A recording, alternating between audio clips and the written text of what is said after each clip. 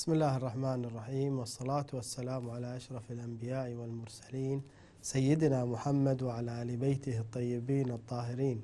ثم اللعن الدائم على أعدائهم ومبغضيهم ومنكري فضائلهم ومناقبهم إلى قيام يوم الدين. آمين يا رب العالمين. من أراد الله بدأ بكم ومن وحده قبل عنكم ومن قصده توجه بكم. موالي لا أحصي ثناءكم ولا أبلغ من المدح كنهكم. ومن الوصف قدركم.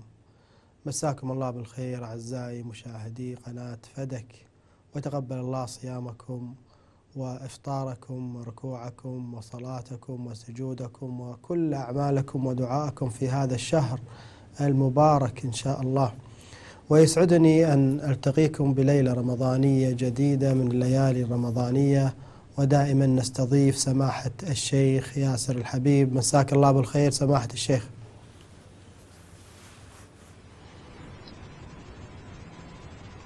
مساكم الله بالخيرات حياكم الله.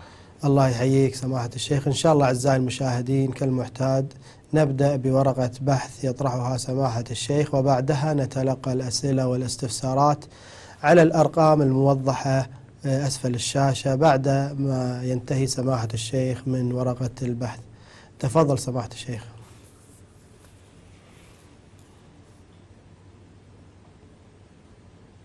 أحسنتم.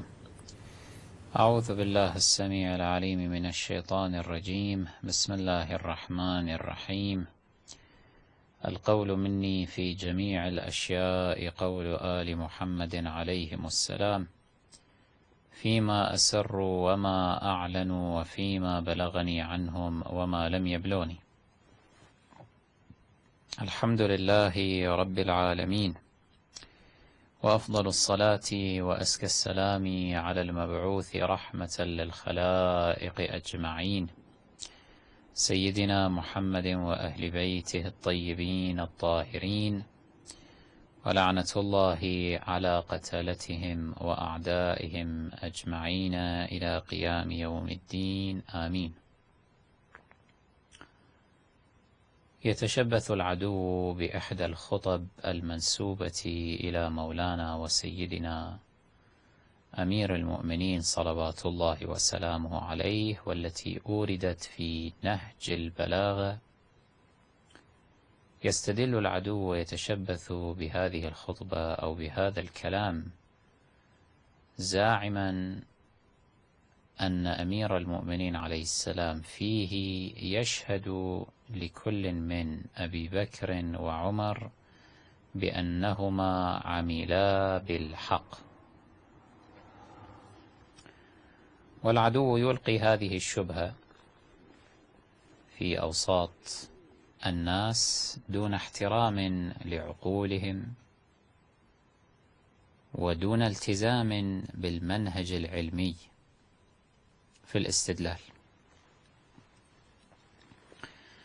الخطبة أو الكلام ذكر في نهج البلاغة بهذا العنوان ومن كلام له عليه السلام لما اجتمع الناس إليه وشكوا ما نقموه على عثمان وسألوه مخاطبته واستعتابه لهم فدخل عليه السلام على عثمان فقال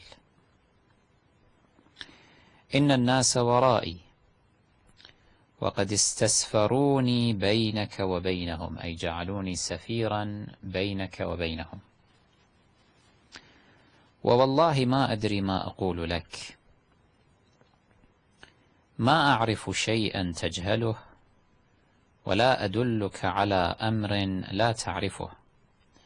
إنك لتعلم ما نعلم ما سبقناك إلى شيء فنخبرك عنه ولا خلونا بشيء فنبلغك.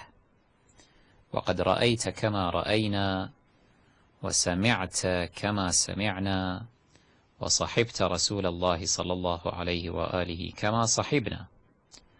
وما ابن أبي قحافة ولا ابن الخطاب بأولى بعمل الحق منك. وأنت أقرب إلى رسول الله صلى الله عليه وآله وشيجة رحم منهما. وقد نلت من صهره أو وقد نلت من صهره ما لم ينالا.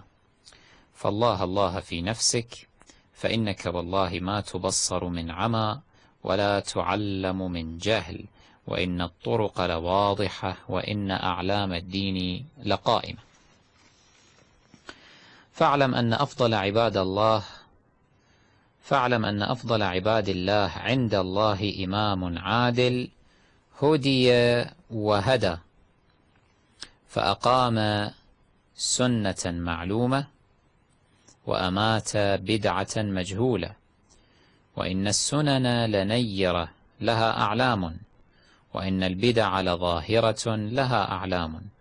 وإن شر الناس عند الله إمام جائر ضل وضل به فأمات سنة مأخوذة وأحيا بدعة متروكة. وإني سمعت رسول الله صلى الله عليه وآله يقول يؤتى يوم القيامة بالإمام الجائر وليس معه نصير ولا عاذر فيلقى في نار جهنم فيدور فيها كما تدور الرحى ثم يرتبط في قعرها. وإني أنشدك الله أن تكون إمام هذه الأمة المقتول فإنه كان يقال يقتل في هذه الأمة إمام يفتح عليها القتل والقتال إلى يوم القيامة ويلبس أمورها عليها ويبث الفتن فيها. فلا يبصرون الحق من الباطل يموجون فيها موجا ويمرجون فيها مرجا. فلا تكونن لمروان سيقة يسوقك حيث يشاء. سيقة يعني دابة هكذا يسوقك. حيث يشاء بعد جلال السن وتقضي العمر. فقال له عثمان كلم الناس في أن يؤجلوني حتى أخرج إليهم من مظالمهم. فقال عليه السلام ما كان بالمدينة فلا أجل فيه وما غاب فأجله وصول أمرك إليه.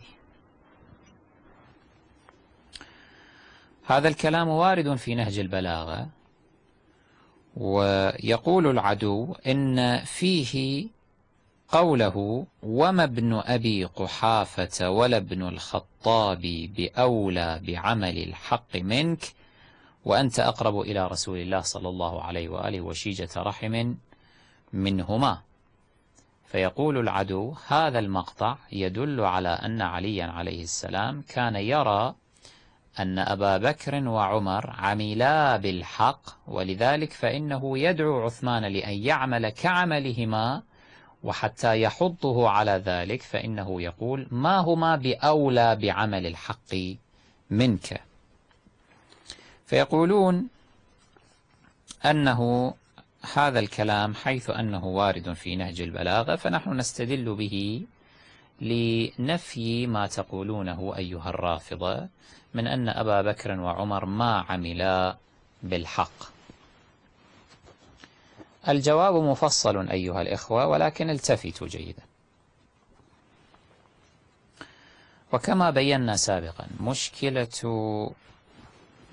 من يظن نفسه من أبناء أو من بقايا أهل الخلاف من يظن نفسه قادرا على مواجهة التشيع العظيم مشكلته أنه يكون عادة جاهلا ومتهابطا جدا في إدراكه وفي سعة معلوماته وفي استدلالاته كذلك. ومن جهة أخرى فإنه يراوغ ويمارس الكذب والحيل حتى يلبس على الناس الأمور ويجعلهم يشتبهون في الحقائق. هذا النص مثلا صحيح أنه وارد في نهج البلاغة ولكن كما بينا في الليالي الماضية نحن علينا أن نتتبع مصادر نهج البلاغة أصول نهج البلاغة. نهج البلاغة جمع فيه الشريف الرضي ما كان متداولا في زمانه من خطب وكلام ورسائل أمير المؤمنين عليه السلام. جمع ما رأى فيه مسحة من البلاغة والفصاحة. حتى نستيقن أن هذا الكلام كلام أمير المؤمنين عليه السلام علينا أن نبحث في أصل هذا الكلام من أين أخذه الشريف الرضي؟ نبحث مثلا في سنده. ننظر لا أقل أنه هل من مرويات أئمة أهل البيت عليهم السلام وأصحابهم أم هو من مرويات أعدائهم ومخالفيهم؟ هذه الخطبة أو هذا الكلام المنسوب إلى أمير المؤمنين عليه السلام والذي تدندن به إحدى أبواق العدو إلى يومنا هذا. وقد سئلنا عنه في الليالي الماضية ووعدناكم بأن نفصل الكلام فيه. وها نحن بحمد الله تعالى نفصل. هذا الكلام قد تكون مفاجأة لكثير من الناس أنه في واقع الحال من مرويات أهل الخلاف وليس من مروياتنا. صحيح أنه جاء في نهج البلاغة ولكن من أين أخذه الشريف الرضي؟ علينا أن نتتبع وننظر المصادر التي سبقت نهج البلاغة. الرجال الذين أخرجوا هذه الخطبة وذكروها في مصنفاتهم وقد سبقوا وتقدموا على الشريف الرضي. هؤلاء نجدهم جميعا من أهل الخلاف. فالرواية ليست شيعية. فكيف تحتجون علينا بما نحن لم نروه أصلا؟ شيء عجيب. الرواية هذه رواها كل من البلاذري في أنساب الأشراف عن الواقدي هؤلاء جميعا من أهل الخلاف. والواقدي للعلم عند أهل الخلاف متروك يترك حديثه ولا يؤخذ به. روى هذه الخطبة أو هذا الكلام أيضا. ابن عبد ربه الأندلسي عن ابن داب. ابن عبد ربه الأندلسي من أعلام أهل الخلاف. ابن داب أيضا من أهل الخلاف مع أنهم قالوا فيه في كتب الجرح والتعديل إذا راجعتم. تجدون أنهم يقولون فيه إنه وضاع. كان يضع الأحاديث.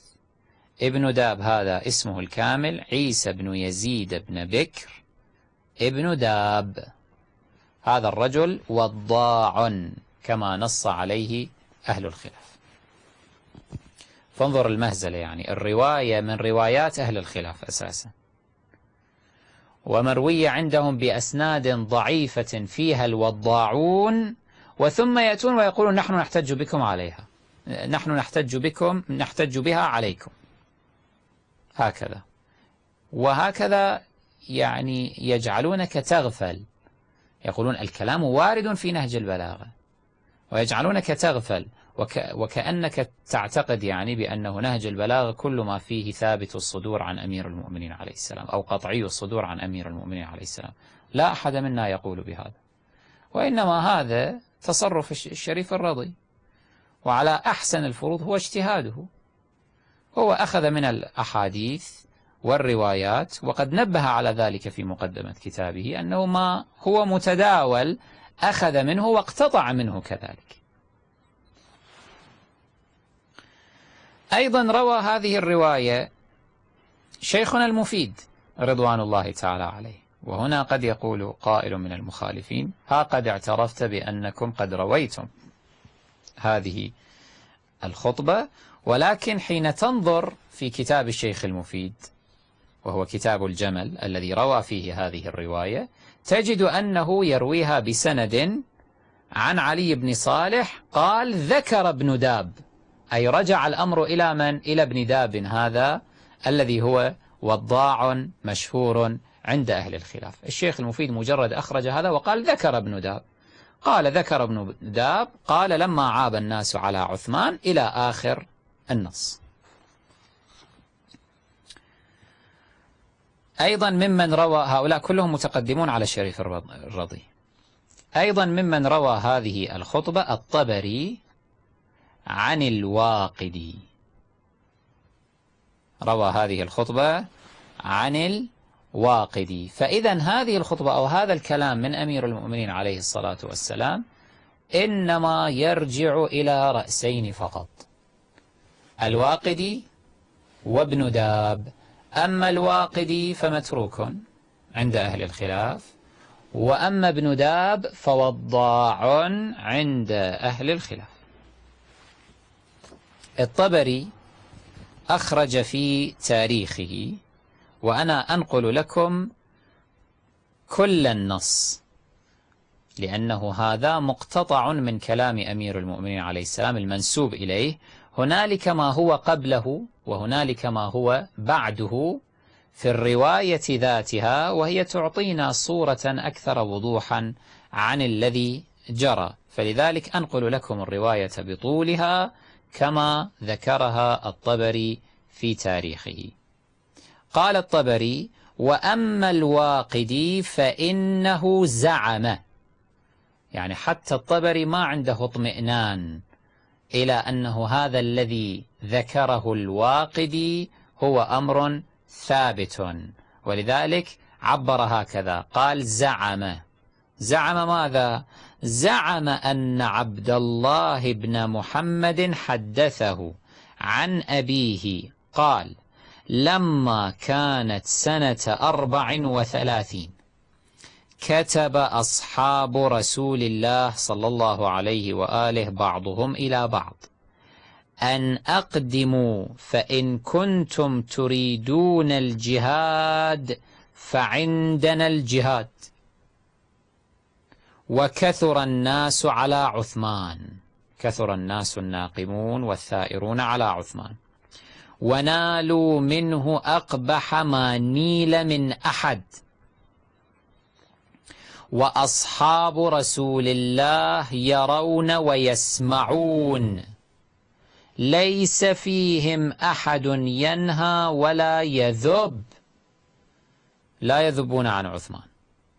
إلا نفيرا إلا نفير منهم. أفراد قلائل.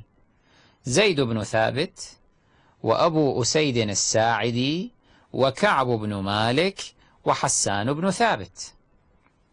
فاجتمع الناس وكلموا علي بن أبي طالب. فدخل فدخل على عثمان اجتمعوا على علي عليه السلام وجعلوه سفيرا بينهم وبين عثمان. فاجتمع الناس وكلموا علي بن أبي طالب. فدخل على عثمان فقال الناس ورائي وقد كلموني فيك. والله ما أدري ما أقول لك وما أعرف شيئا تجهله ولا أدلك على أمر لا تعرفه.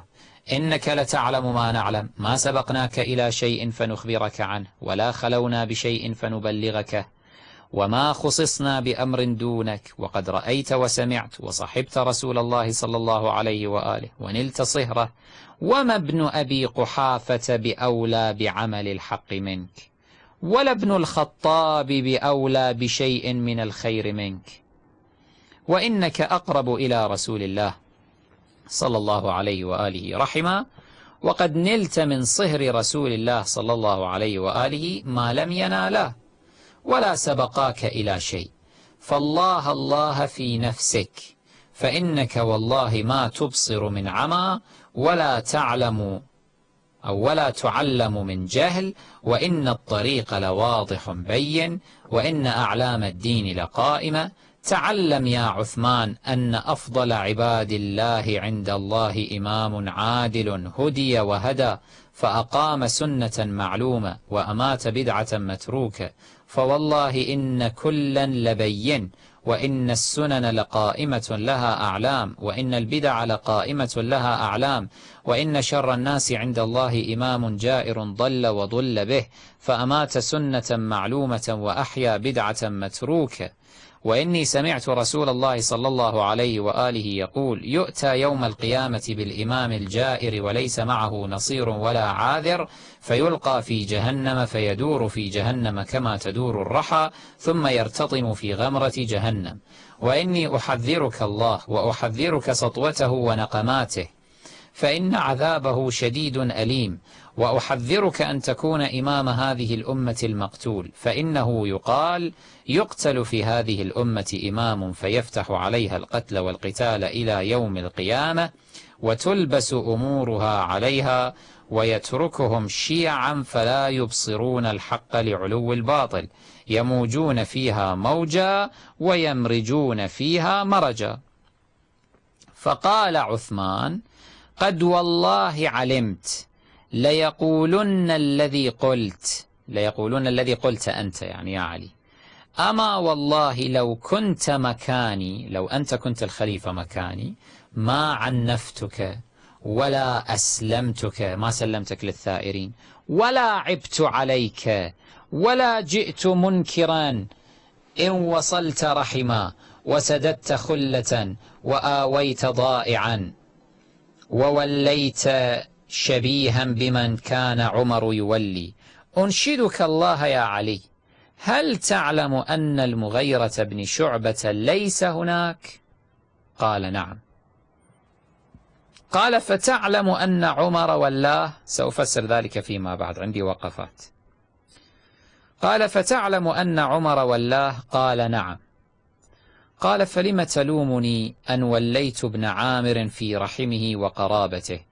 ابن عامر هذا عبد الله بن عامر ابن كريز ابن خال عثمان. قال علي سأخبرك إن عمر بن الخطاب كان كل من ولى فإنما يطئ, يطأ على صماخه. إن بلغه عنه حرف جلبه ثم بلغ به أقصى الغاية وأنت لا تفعل. ضعفت ورفقت على أقربائك. قال عثمان هم أقرباؤك أيضا. فقال علي لعمري إن رحمهم مني لقريبة ولكن الفضل في غيرهم. ولكن الفضل في غيرهم. قال عثمان هل تعلم أن عمر ولى معاوية خلافته كلها؟ فقد وليته. فقال علي أنشدك الله. هل تعلم أن معاوية كان أخوف من عمر من يرفأ غلام عمر منه؟ يعني هل تعلم أنه معاوية كان يخاف عمر أكثر من يرفأ الذي هو كان غلام عمر الذي تحت يده؟ تحت يده. قال نعم. قال علي فإن معاوية يقتطع الأمور دونك وأنت تعلمها. فيقول للناس هذا أمر عثمان. فيبلغك ولا تغير على معاوية. ما تقف أمام معاوية وتنهره عن استغلال اسمك. ثم خرج علي من عنده وخرج عثمان على أثره فجلس على المنبر. يعني عثمان راح وجلس على المنبر يريد أن يخطب. فقال أما بعد فإن لكل شيء آفة ولكل أمر عاهة. وإن آفة هذه الأمة وعاهة هذه النعمة عيابون طعانون. ناس بس يريدون الثورة ويعيبون علينا ويطعنون بينا. يرونكم أو يرون يري يرونكم ما تحبون ويسرون ما تكرهون. يقولون لكم وتقولون أمثال النعام. يتبعون أول ناعق. يسب الناس يقول أنتم أمثال النعام أحب مواردها إليها البعيد. لا يشربون إلا نغصا ولا يردون إلا عكرا. لا يقوم لهم رائد. وقد أعيتهم الأمور وتعذرت عليهم المكاسب.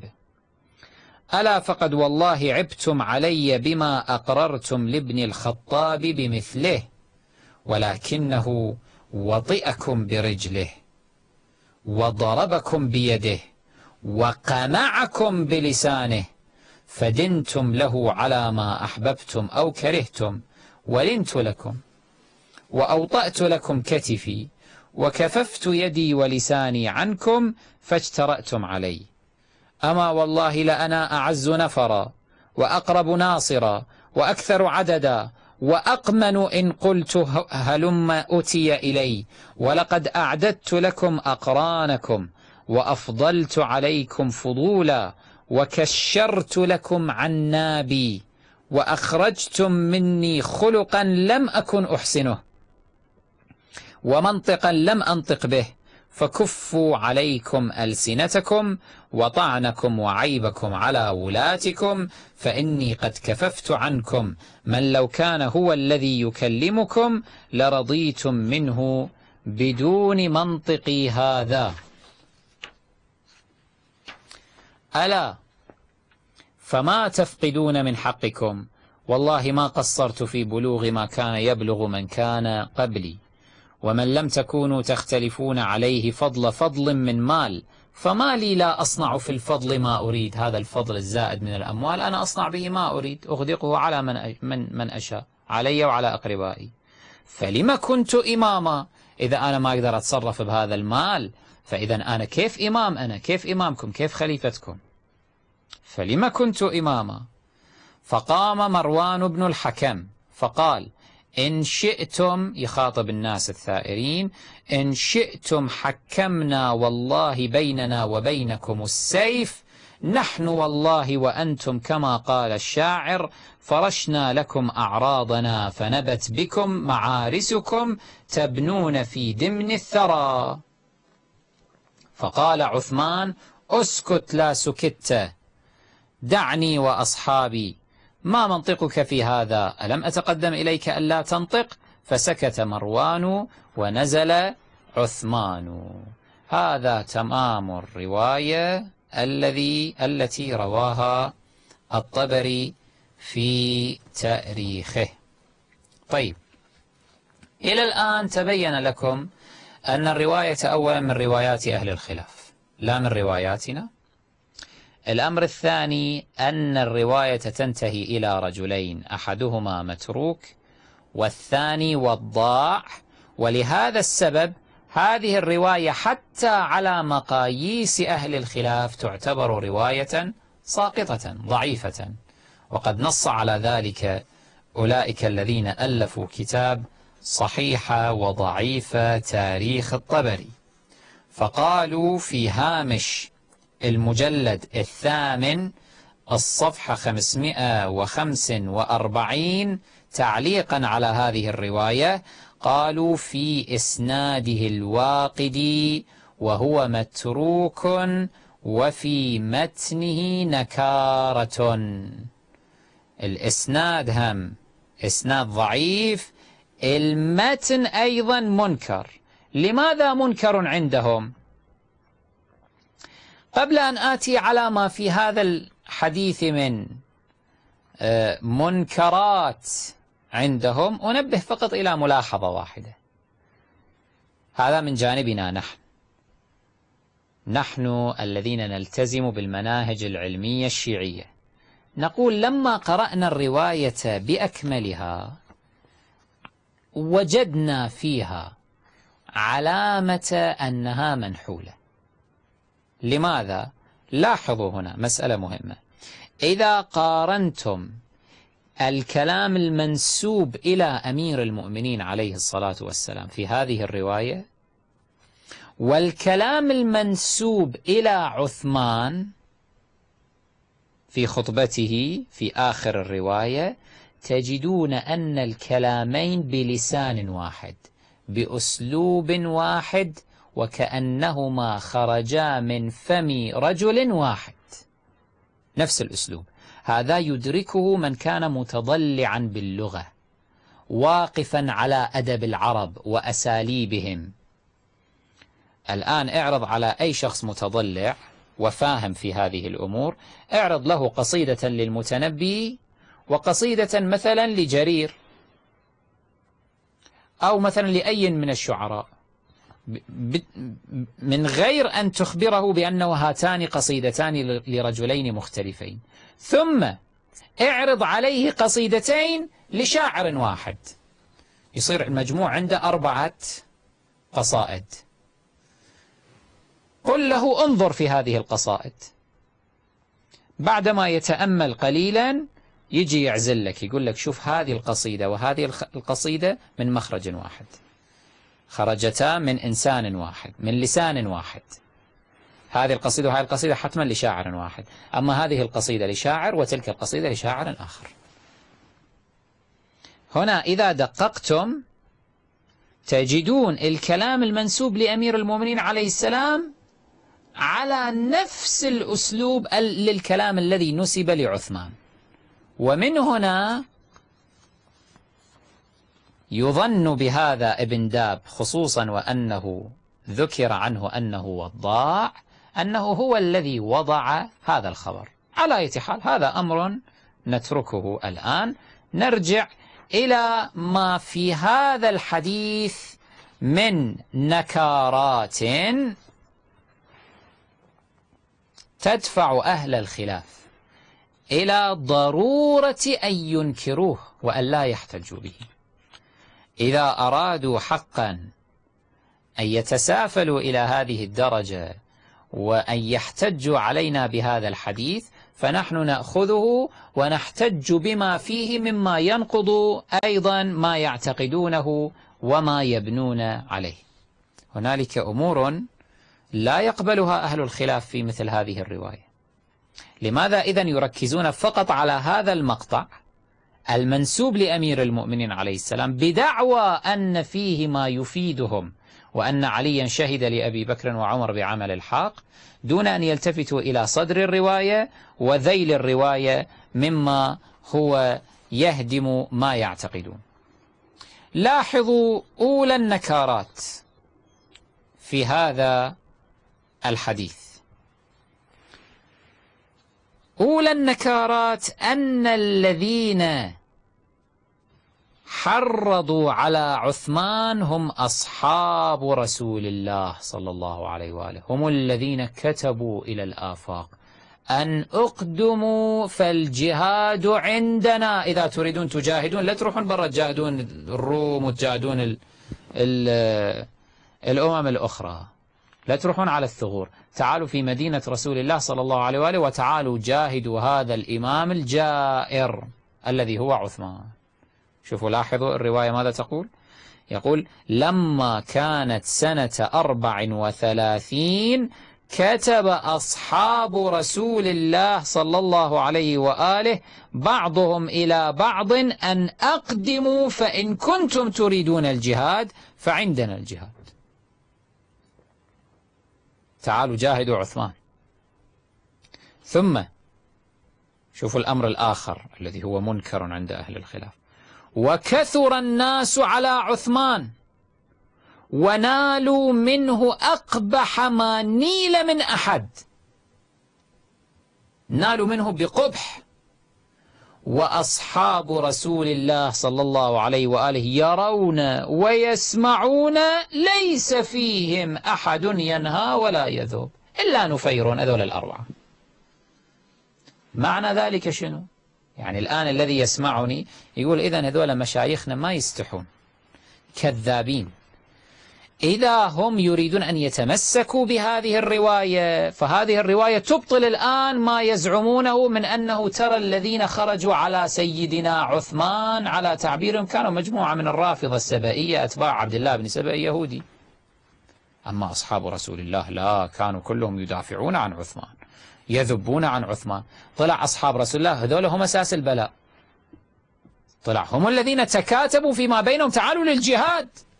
وثم نالوا من عثمان بأقبح النيل وليس فيهم أحد شنو تقول؟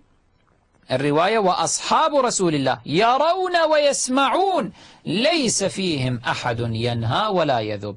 إذا بطلت عدالة الصحابة سقطت عدالة الصحابة وسقط هذا الوهم الكبير الذي تزعمون أنه آه، تزعمون فيه أن أصحاب رسول الله هم كانوا مدافعين عن عثمان وأن الخارجين عليه كانوا مجموعة من الغوغاء والأوباش فقط. من حديثي العهد بالإسلام من السبائيين من الرافضة من أهل مصر هؤلاء الذين جاءوا ذولا اللي ألبوا على عثمان وأجلبوا عليه. طلع كله كذب في كذب إذن. اختار واحد من أمرين يا أيها المخالف الأبله الذي عندك قناة فضائية وقاعد تضحك على الناس المساكين. كم ليلة قاعد تكرر هذا الكلام. عثمان عثمان. أمير المؤمنين علي قال لعثمان وما ابن أبي قحافة ولا ابن الخطاب بأولى بعمل الحق منك. وخلص اعتبرتها وسام على صدر أبي بكر وعمر. طيب رجعنا إلى الرواية الأصلية. شفنا هذا الكلام المنسوب لأمير المؤمنين عليه السلام جزء من رواية لما نظرنا إليها بالكامل وجدناها تهدم معتقدك. فاختار الآن. إما أنه تأخذ الرواية بأكملها لأنه لا يسعك أن تقول لا جزء منها صحيح الباقي لا أرفضه. هذا ما يصير هذا أمر غير علمي. فإما أن تأخذ الرواية كلها فبالتالي ينتقض عليك ما كنت تريد. يطلع أصحاب رسول الله صلى الله عليه وآله العدول الأجلاء طلعوا هؤلاء هم قادة الثورة على عثمان بن عفان. ويطلع عثمان طاغية. وإما تخلى عن هذا النص وفكنا. حتى لا تدوخنا وتدوخ الناس وتجعلني أنا أضطر أنه أجيب على الإخوة المتصلين أنه كم متصل في هذه الليالي؟ اتصل وقال نطلب منكم الرد على هذه الشبهة بتفصيل. رددنا علي عنها بشيء من الإجمال بشيء من الإيجاز. مرة أخرى يتكرر السؤال. فقلنا لابد أنه نخصص هذه الليلة إن شاء الله تعالى نفصل في ذلك ونرد الشبهة هذه بأكملها. هاتان آه، نقطتان ينكرهما أهل الخلاف.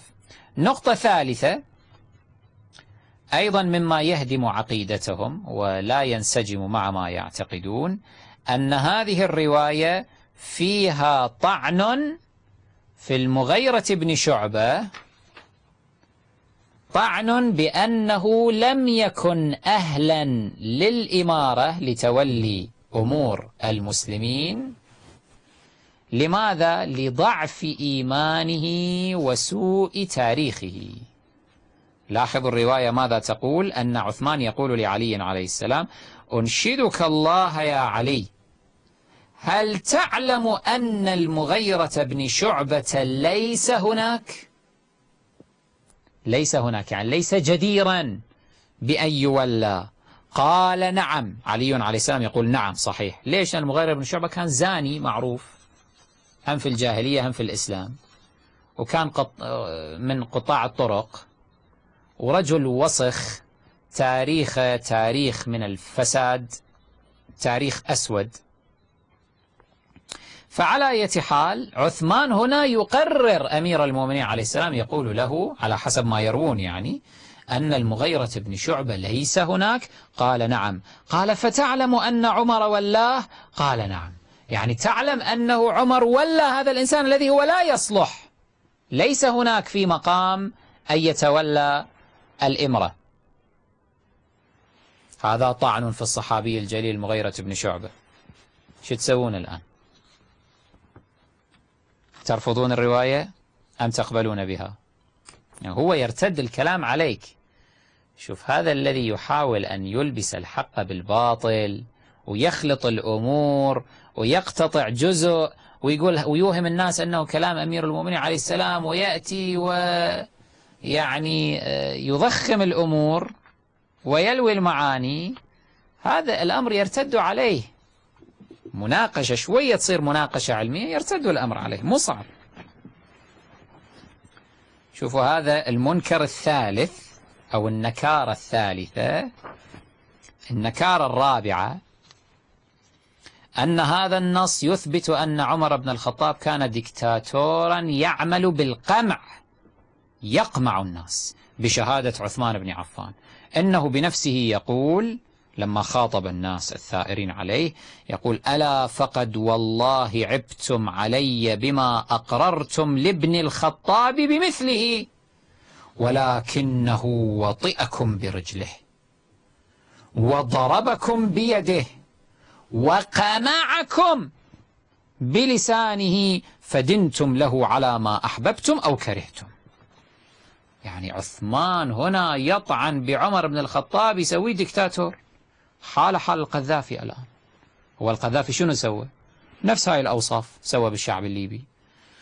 وطئكم برجله وضربكم بيده وقمعكم بلسانه. هذا اللي سواه القذافي طوال هاي المدة. أربعين سنة. هو شنو سوى القذافي؟ فإذا القذافي تجوز عليه الثورة لأنه فعل هكذا فعمر بن الخطاب كذلك. كلاهما كانا على الصف على صفة واحدة. وللعلم القذافي له تسجيل أو خطبة قديمة آه، ذكر فيها هذا الشيء. راجعوا أنتم خطبه القديمة في الستينات أو السبعينات أنه قالها صراحة أنه عمر بن الخطاب كان دكتاتورا مستبدا. فلماذا تنقمون علينا؟ فالكلام الآن يوجه للعدو. أنه إذا أخذت بهذا النص ففيه طعن في إمامك عمر والطاعن عثمان. ويصور إمامك عمر بأنه يعمل بالقمع أنه دكتاتور ظالم مستبد جائر عنيف غليظ. هكذا كان يصنع. فهل تقبل بالنص أم لا؟ النكارة الخامسة والنكارات كثيرة أنا فقط انتقيت منها خمس نكارات على ما هم يعتقدون أنه عثمان يهدد بنفس السيرة يهدد بأن يعمل بالقمع على سيرة عمر بن الخطاب. يقول ولقد أعددت لكم أقرانكم وأفضلت عليكم فضولا وكشرت لكم عنابي عثمان الآن يقول أنا ترى صرت وحش. كشرت لكم عنابي الآن أنهش فيكم. تقبل أيها العدو بهذا النص الذي يهدم تلك الصورة العظيمة الغارقة في الحلم والمثالية. عن عثمان أنه كان رحيما كان رؤوفا كان عطوفا. ولذلك ما سمح لأحد بأن يدافع عنه وقال لا أريد سفك الدماء. ما كان يهدد الناس كان دائما يدفع بالتي هي أحسن. طلع كل هذا أيضا كذب. إذا أنت أخذت بهذا النص لأن الرجل يصرح يهدد هكذا صراحة ويقول وكشرت لكم عنابي أنا وحش. أنهش في لحومكم بأنيابي. فماذا تصنعون؟ يا أيها البلهاء ما تعرفون تحتجون على التشيع العظيم بشيء يستقيم. شيء واحد ما عندكم. المشكلة هي أنه حينما تحتجون أكو بلهاء آخرين يسمون أنفسهم شيعة ما يعرفون كيف يجيبون عليكم. وإلا أمام أقل مناقشة علمية يتبين أن ما تقولونه هراء في هراء. أصلا الرواية من رواياتكم وليست من رواياتنا. خير إن شاء الله في نهج البلاغة. شنو هو نهج البلاغة؟ من أوله إلى آخره نقول أنه مقطوع الصدور عن أمير المؤمنين عليه السلام كله صحيح. لا يقول عالم شيعي بذلك. تعال أولا ابحث تعال انظر أنه الرواية من رواها؟ ماذا فيها؟ انظر للرواية من أولها إلى آخرها مو تأخذ جزء واحد فقط. إذا أخذتها من أولها إلى آخرها تستحي من أن تطرحها لأنها تهدم ما أنت تعتقد به.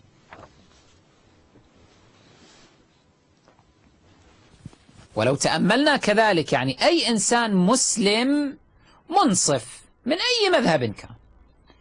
إذا شوية يتأمل بالرواية يعرف أنها منحولة مصنوعة. وكلام موضوع على أمير المؤمنين صلوات الله وسلامه عليه. لماذا؟ لأنه انظر ماذا نسب إلى أمير المؤمنين. قوله لعثمان ما سبقناك إلى شيء فنخبرك عنه ولا خلونا بشيء فنبلغك وما خصصنا بأمر دونك. بالله عليك اسأل أي مسلم منصف. اسأل ذولا مشايخ الأزهر المنصفين مثلا من تبقى منهم من المنصفين. قل له بالله عليك هذا الكلام ممكن أن يصدر من علي بن أبي طالب عليهما السلام أم لا؟ يخاطب عثمان يقول له شنو؟ ما سبقناك إلى شيء فنخبرك عنه. والإجماع قائم على أن عليا عليه السلام سبق عثمان في الإسلام والإيمان والجهاد وفي كل شيء. فشلون يقول ما سبقناك إلى شيء؟ يعني هذا يناقض المعلومة بالضرورة. ثم يقول ولا خلونا بشيء فنبلغك. يعني ما خلونا برسول الله صلى الله عليه وآله حتى نبلغك أمور. وأيضا هذا يخالف ما هو معلوم بالضرورة. من أن عليا عليه السلام كان يخلو برسول الله صلى الله عليه وآله حتى قال علمني رسول الله ألف باب من العلم يفتح لي من كل باب ألف باب. هذا شيء أطبق عليه الجميع. أمر معروف. فكيف يقول علي لعثمان ما خلونا يعني؟ يعني أنا حالي حال بقية المسلمين. ما خلوت بشيء. برسول الله صلى الله عليه وآله حتى أبلغك هذا الشيء. أسرار العلوم. جاءت إلى علي عليه السلام من هذه الخلوات التي جمعته بالنبي الأعظم صلى الله عليه وآله. وكذلك يقول وما خصصنا بأمر دونك. كيف لم يخص بأمر دونه؟ وعلي المخصوص بأسرار رسول الله بعلوم رسول الله صلى الله عليه وآله بقربه من رسول الله صلى الله عليه وآله. كان يلازمه ملازمة الظل لذي الظل. يعني هذه هذا هذه العبارة بعيد جدا أن تصدر عن أمير المؤمنين عليه السلام لأنها تخالف التاريخ كله كل التاريخ. تخالف إلا أنه نوجه العبارة هذه أو هذه العبارات بتوجيهات بعيدة. مثل أنه يقصد ما سبقناك إلى شيء فنخبرك عنه. يعني ما سبقناك إلى شيء من أحكام الإسلام المعروفة التي هي واجبة على كل مسلم ومسلمة فنخبرك عنه. كذلك ما خلونا بشيء من تلك الأحكام. فأنت المفروض تعرف هذه الأحكام. أنه مثلا لا يجوز الظلم لا يجوز الجور لا يجوز الاستئثار بالفيء لا يجوز تولية الفسق والفجر على رقاب المسلمين. أمثال هذه الأمور. ولكن لا يخفى أن هذا تأويل بعيد جدا.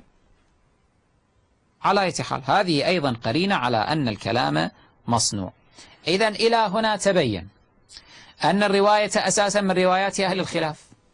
ويحتجون علينا بها. وهذا نوع من أنواع المغالطة نوع من أنواع المغالطة وأن الرواية أسنادها ضعيفة مطعون فيها. أن متنها كذلك فيه نكارات وأي نكارات. أن فيها قرائن على أن الكلام مصنوع موضوع على أمير المؤمنين عليه السلام. وأن الذي نسب هذا الكلام لأمير المؤمنين هو نفسه الذي نسب هذا الكلام لعثمان. والكلام مع الكلام متجانسان. فإذا لابد أن يكون وراءهما شخص واحد. قد يكون هذا ابن داب الذي قال أهل الخلاف بأنفسهم واعترفوا بأنه وضع يضع الحديث. كان يكتب هكذا ويضع الأحاديث.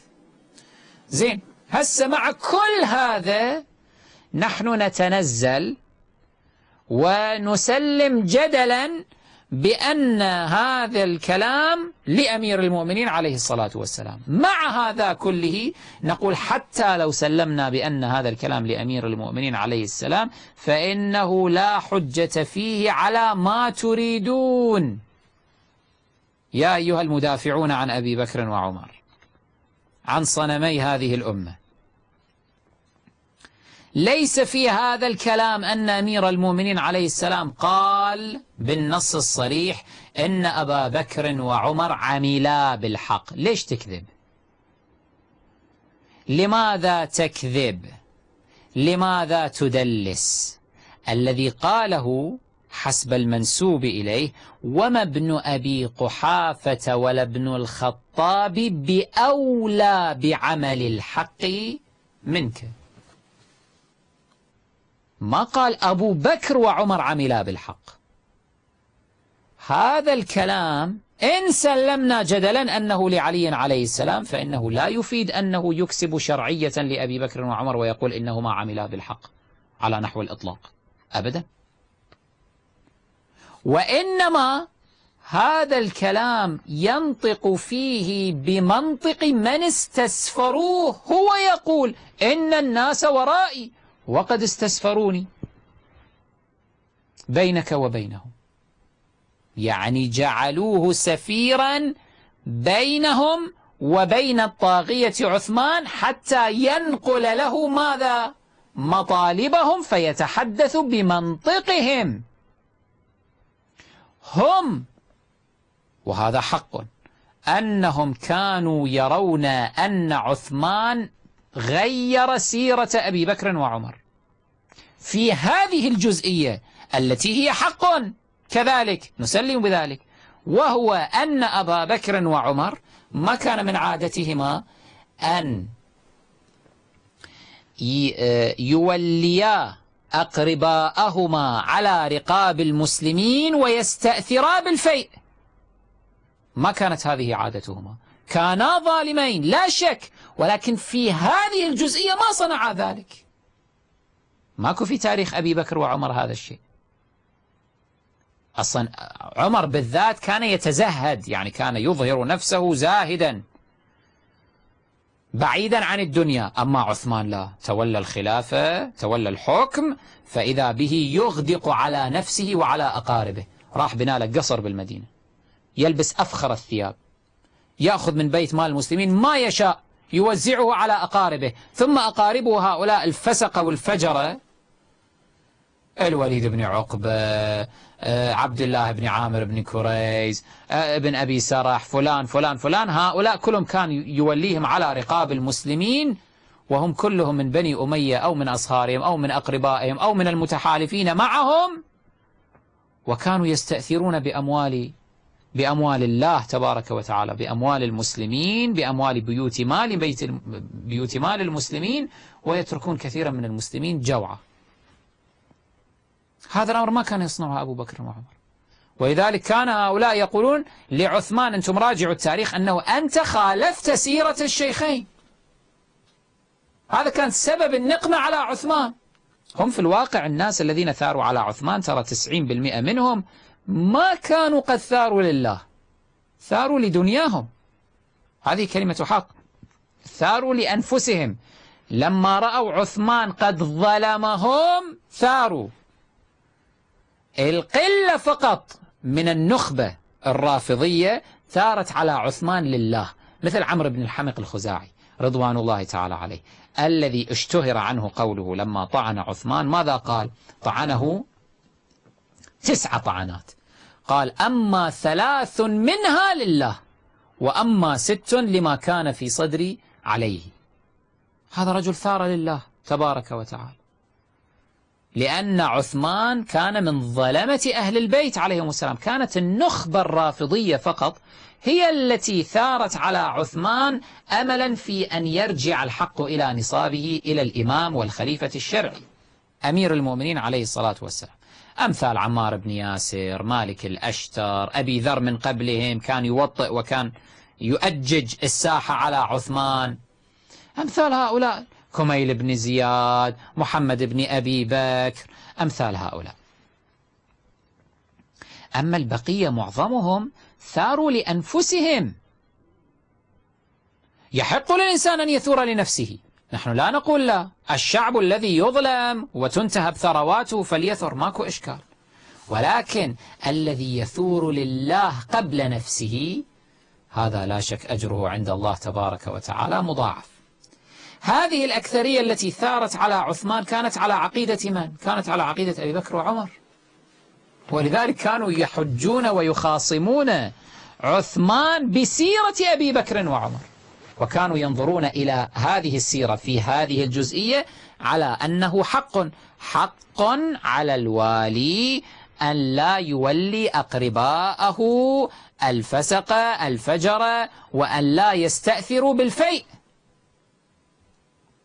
فعلى هذا قال أمير المؤمنين إن صح نسبة الكلام إليه إن صحت نسبة الكلام إليه قال لعثمان وما ابن أبي قحافة ولا ابن الخطاب بأولى بعمل الحق الذي هو هذا؟ أنه تعزل ولاتك تعزل هؤلاء الولاة تعزل أقاربك وتقبض على أيديهم وتعطي مال الله لعباده. أبو بكر وعمر ما ليس بأولى بعمل الحق في هذه الجزئية منك. امضي على سيرتهما. هذا لأن أمير المؤمنين عليه السلام إن صحت نسبة الكلام إليه كان يتحدث بمنطق من؟ من كان وراءه. إن الناس استسفروني إن الناس ورائي وقد استسفروني. جعلوني سفيرا فأتحدث أنا أنقل لكم أنقل لك مطالبهم. بمن؟ منطقهم أبو بكر وعمر حرصا في المظهر العام كما بينا على أن لا يظهر جورا على الناس خاصة. ما كان عندهم أسلوب أنه يستأثران بالفيء ويوليان الأقارب ويتمتعان يعني يعدمون الطبقة المتوسطة كما يقال الآن في العلوم الحديثة. يعني يجعلون أنفسهم فقط طبقة مخملية هكذا ثرية والبقية والطبقة الأخرى الطبقة الثانية طبقة كادحة. طبقة ضعيفة مستضعفة. لا ما كان ما كانت هذه عادتهما. أما آه، عثمان فهكذا صنع. ألغى الطبقة المتوسطة نهائيا. عندي كلام لا تفتحوا رجاء آه، الاتصالات الآن. عندي جزئيات أخيرة إن شاء الله أختم بها الكلام. أقول الأمر الآخر أنه لو كان هذا الكلام صادرا عن أمير المؤمنين عليه الصلاة والسلام. على فرض أنه صادر عن أمير المؤمنين.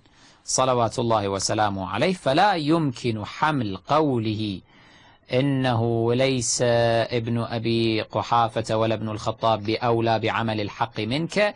ليس يمكن حمل هذا الكلام على الإطلاق. على أن سيرة أبي بكر وعمر كانت في كل تفاصيلها عملا بالحق. لا لم يكن الأمر هكذا لأن هذا ينقضه ما هو متفق عليه من أن عليا عليه الصلاة والسلام لما عرضت عليه الخلافة عرضها عليه آه، عبد الرحمن بن عوف قال له أبايعك أو نبايعك على أن تعمل بكتاب الله وسنة نبيه صلى الله عليه وآله وسيرة الشيخين. مشهور أن عليا عليه الصلاة والسلام رفض العمل بسيرة الشيخين. فإذا كان يرى أن سيرة الشيخين على الإطلاق حق لماذا كان ي... لماذا رفض ذلك؟ وقال أعمل فقط بكتاب الله وسنة نبيه صلى الله عليه وآله. فإذا هذا يدلنا على أنه إن صح صدور هذه العبارة منه صلوات الله عليه فليست على النحو الذي يؤوله العدو. ليست على هذا النحو. وإنما هي تتعلق بجزئية واحدة وهي جزئية ظرف صدور هذا الكلام. علينا لما نقيم كلاما أو نفسره أن نرى ظرفه أنه صدر في أي مناسبة. في أي موضوع في أي ظرف. الظرف كان هذا كما قرأت لكم الرواية الطويلة من تاريخ الطبري نفسه. أن الظرف كان أن الناس نقموا على عثمان هذه الجزئية. فطالبوا بأن يرجع إلى ما كان عليه العهد أيام أبي بكر وعمر واعتبروا ذلك حقا وهو حق. فخاطبه أمير المؤمنين عليه السلام بلسانهم. هذا إن صح أن الخطاب لأمير المؤمنين صلوات الله عليه. ثم هنالك ملاحظة أخيرة. وقد سبق التنبيه عليها من ذي قبل. الملاحظة هي أنه لا بد من حمل المتشابه على المحكم. هذا هو المنهج العلمي. شوفوا الآن أضرب لكم مثالا. لو أن رجلا الآن جاء واحد مثلا جاء وفتح القرآن الحكيم فتح على سورة البقرة الآية الثالثة والستين وقرأ لنا قوله تعالى إن الذين آمنوا والذين هادوا والنصارى والصابئين من آمن بالله واليوم الآخر وعمل صالحا فلهم أجرهم عند ربهم ولا خوف عليهم ولا هم يحزنون. جاء فتح لنا هذا الكتاب العزيز وأخرج هذه الآية وقال انظروا أنا أستدل بهذه الآية على أنه لا يجب اعتناق الإسلام ولا يجب الإيمان بنبوة نبي الإسلام صلى الله عليه وآله.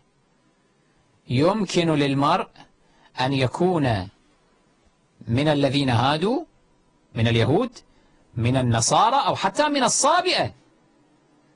والمهم فقط حتى ينجو يوم القيامة أن يؤمن بهذين الركنين أن يؤمن بالله واليوم الآخر والأمر الآخر أنه يعمل صالحا فقط.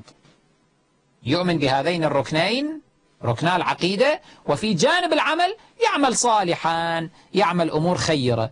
هذا له أجره عند ربه ولا خوف عليه ولا هو يحزن.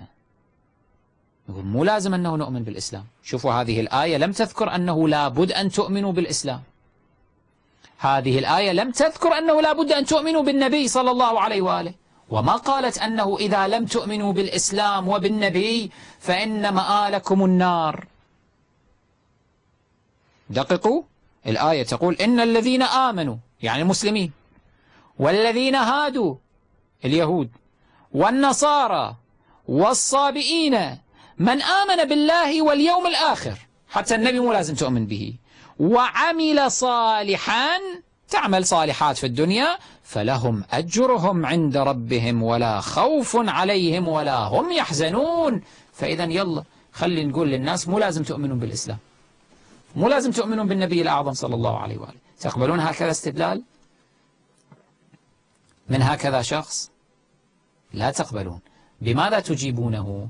تقولوا له كمل كمل بقية الآيات. هذه آية من المتشابه. يجب أن نحملها على المحكم. هذه الآية فيها غير وضوح. شنو الفرق بين المتشابه والمحكم؟ المتشابه ما لا وضوح فيه يحتمل أكثر من وجه ومعنى لا يعينه وتكون تلك المعاني متساوية. المحكم هو ما فيه بعد حكم هكذا ما فيه وضوح في الدلالة. ذو وضوح في الدلالة. لابد أنه نحمل المتشابه على المحكم. أنت وصلت الآن إلى الآية 63 من البقرة. كمل. اقرأ بقية آيات القرآن الحكيم حتى يتبين لك المعنى. تكمل شوية توصل إلى سورة آل عمران. تصل إلى الآية رقم 86 تقرأ قوله تعالى ومن يبتغي غير الإسلام دينا فلن يقبل منه. وهو في الآخرة من الخاسرين. إذا تفهم هنا أنه تتثبت تقول لا هنا الله عز وجل يقول إذا ما كان على دين الإسلام فإذا معنى ذلك أنه سيكون من أهل جهنم في الآخرة. لن يقبل منه ومن يبتغي غير الإسلام دينا فلن يقبل منه. تكمل شوية توصل إلى سورة الفتح. الآية الرابعة عشرة تقرأ قوله تعالى ومن لم يؤمن بالله ورسوله يعني لازم تؤمن بالرسول كذلك. ومن لم يؤمن بالله ورسوله فإنا أعتدنا للكافرين سعيرا. فإذا يروح إلى جهنم يروح إلى السعير. إذا لم يؤمن بالنبي صلى الله عليه وآله فهاتان آيتان محكمتان. أنه لا بد من الإيمان بالإسلام ولا بد من الإيمان بالنبي صلى الله عليه وآله. نحمل تلك الآية المتشابهة على هاتين الآيتين المحكمتين.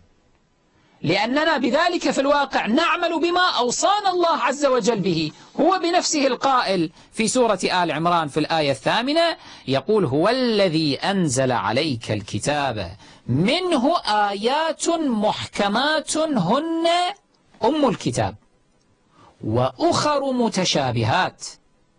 فأما الذين في قلوبهم زيغ فيتبعون ما تشابه منه ابتغاء الفتنة وابتغاء تأويله. مثل هذول الذين يأخذون أجل البلاغة. يأخذون الكلام المتشابه ابتغاء الفتنة وابتغاء تأويله يؤولونه على غير معناه.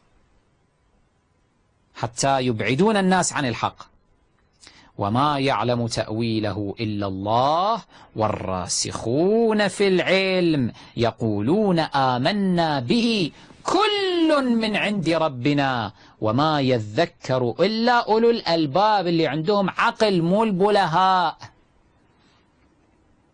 هنا لما تحمل المتشابه على المحكم في آيات الكتاب العزيز تفهم أن الله عز وجل حينما قال في تلك الآية الأولى في سورة البقرة إن الذين آمنوا والذين هادوا والنصارى والصابئين من آمن بالله واليوم الآخر وعمل صالحا من الأقوام السابقة التي كانت قبل الإسلام. تلك الأديان التي نسخها الإسلام. هؤلاء الذين ماتوا ما عرفوا النبي صلى الله عليه وآله وما عرفوا الإسلام الذي جاء به النبي صلى الله عليه وآله. هذا الإسلام بشريعته الخاتمة. فلذلك هنا يقع تساؤل أنه هؤلاء مآلهم إلى النار؟ الله عز وجل أجاب لا هؤلاء ما داموا في تلك الأزمنة آمنوا بالله واليوم الآخر وعمل صالحا فلهم أجرهم عند ربهم. فلهم أجرهم عند ربهم ولا خوف عليهم ولا هم يحزنون. هؤلاء ما كانوا مكلفين بأن يؤمنوا بالنبي الأعظم صلى الله عليه وآله وشريعته الخاتمة هذه. كان يكفيهم أن يؤمنوا بتلك الأديان قبل تحريفها على ما كانت عليه من التوحيد على ما كانت عليه من الإيمان باليوم الآخر بالمعاد. وما داموا عملوا, عملوا صالحا فلهم أجرهم عند ربهم. أي أن الآية هذه ليس لها عموم أحوالي يعم كل الأحوال والأزمنة أو عموم أزماني. هكذا نستنبط من كتاب الله عز وجل. لا يصح أن نأخذ الآيات المتشابهات ونتشبث بها حتى نبيح للناس والعياذ بالله أن يكفروا بالإسلام. مو لازم أن تؤمن بالإسلام. خلاص ولا تؤمن بالنبي صلى الله عليه وآله. لا لابد أن نحمل المتشابه على المحكم حتى نفهم المعنى. كذلك في كلام أهل البيت. صلوات الله عليه. كلامهم هو الإمام الرضا عليه السلام يقول كما أخرجه شيخنا الصدوق في كتابه عيون الأخبار قال الإمام الرضا عليه السلام من رد متشابه القرآن إلى محكمه هدي إلى صراط مستقيم. ثم قال إن في أخبارنا متشابها كمتشابه القرآن ومحكما كمحكم القرآن. فردوا متشابهها إلى محكمها ولا تتبعوا متشابهها دون محكمها فتضلوا. الآن هذا النص الذي يستدلون به من نهج البلاغة. إن سلمنا أنه لأمير المؤمنين عليه السلام. إن سلمنا والحال أن في النص طعون كثيرة. تجعلنا لا نطمئن إلى أنه من كلام أمير المؤمنين عليه السلام. أصلا هو من رواياتكم. السنفرض تنزلنا وسلمنا. هذا من المتشابه. لماذا؟ لأن العبارة هذه تحتمل أكثر من معنى بلحاظ القرينة المجموعية. مجموع الكلام وظرفه وأوله وآخره صدره وذيله. نفهم أنه شنو المراد بأولى من عمل الحق منه. بأولى من عمل الحق منك. تبين أنه عندنا أكثر من معنى. الآن عندنا دعوة أن أنه المراد من ذلك أن أمير المؤمنين عليه السلام يحكم على أن سيرة أبي بكر وعمر كلها كانت حقا وأنهما عملا بالحق على نحو التزكية. هكذا يزكيهما. نقول له لا أوقف. كمل باقي نهج البلاغ اقرأ باقي خطب أمير المؤمنين عليه السلام وخطبه وفيها المحكمات احمل هذا المتشابه على المحكم لأن الإمام الرضا عليه السلام هكذا قال إن في أخبارنا متشابها كمتشابه القرآن ومحكما كمحكم القرآن. لابد أن تفعلوا كما تفعلون حين تستنبطون من القرآن الحكيم. ردوا المتشابه إلى المحكم.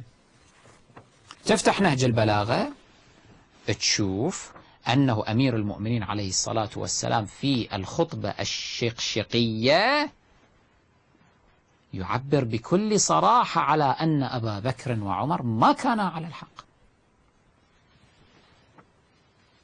أبدا. وما قبل الخطبة الشقشقية كذلك. أنتم إذا لاحظتم الفقرة التي قبل الخطبة الشقشقية من الخطبة التي سبقتها يقول أولا يصف آل محمد عليهم السلام. قال ومنها ويعني آل النبي صلى الله عليه وآله. هم موضع سره ولجأ أمره وعيبة علمه وموئل حكمه وكهوف كتبه وجبال دينه. بهم أقام انحناء ظهره وأذهب ارتعاد فرائصه. زين. ثم شوفوا الآن تكلم عن آل محمد عليه السلام الآن يتكلم عن من؟ عن مخالفيهم الذين تولوا الإمرة دونهم. يقول منها يعني بها قوما آخرين. فماذا يقول؟ زارعوا الفجور. وسقوه الغرور. وحصدوا الثبور. لا يقاس بآل محمد صلى الله عليه وآله من هذه الأمة أحد. ولا يسوى بهم من جرت نعمتهم عليه أبدا. أبو بكر عمر عثمان هؤلاء ممن جرت نعمة آل محمد عليهم أبدا. تقيسون؟ تقيسون هؤلاء بآل محمد؟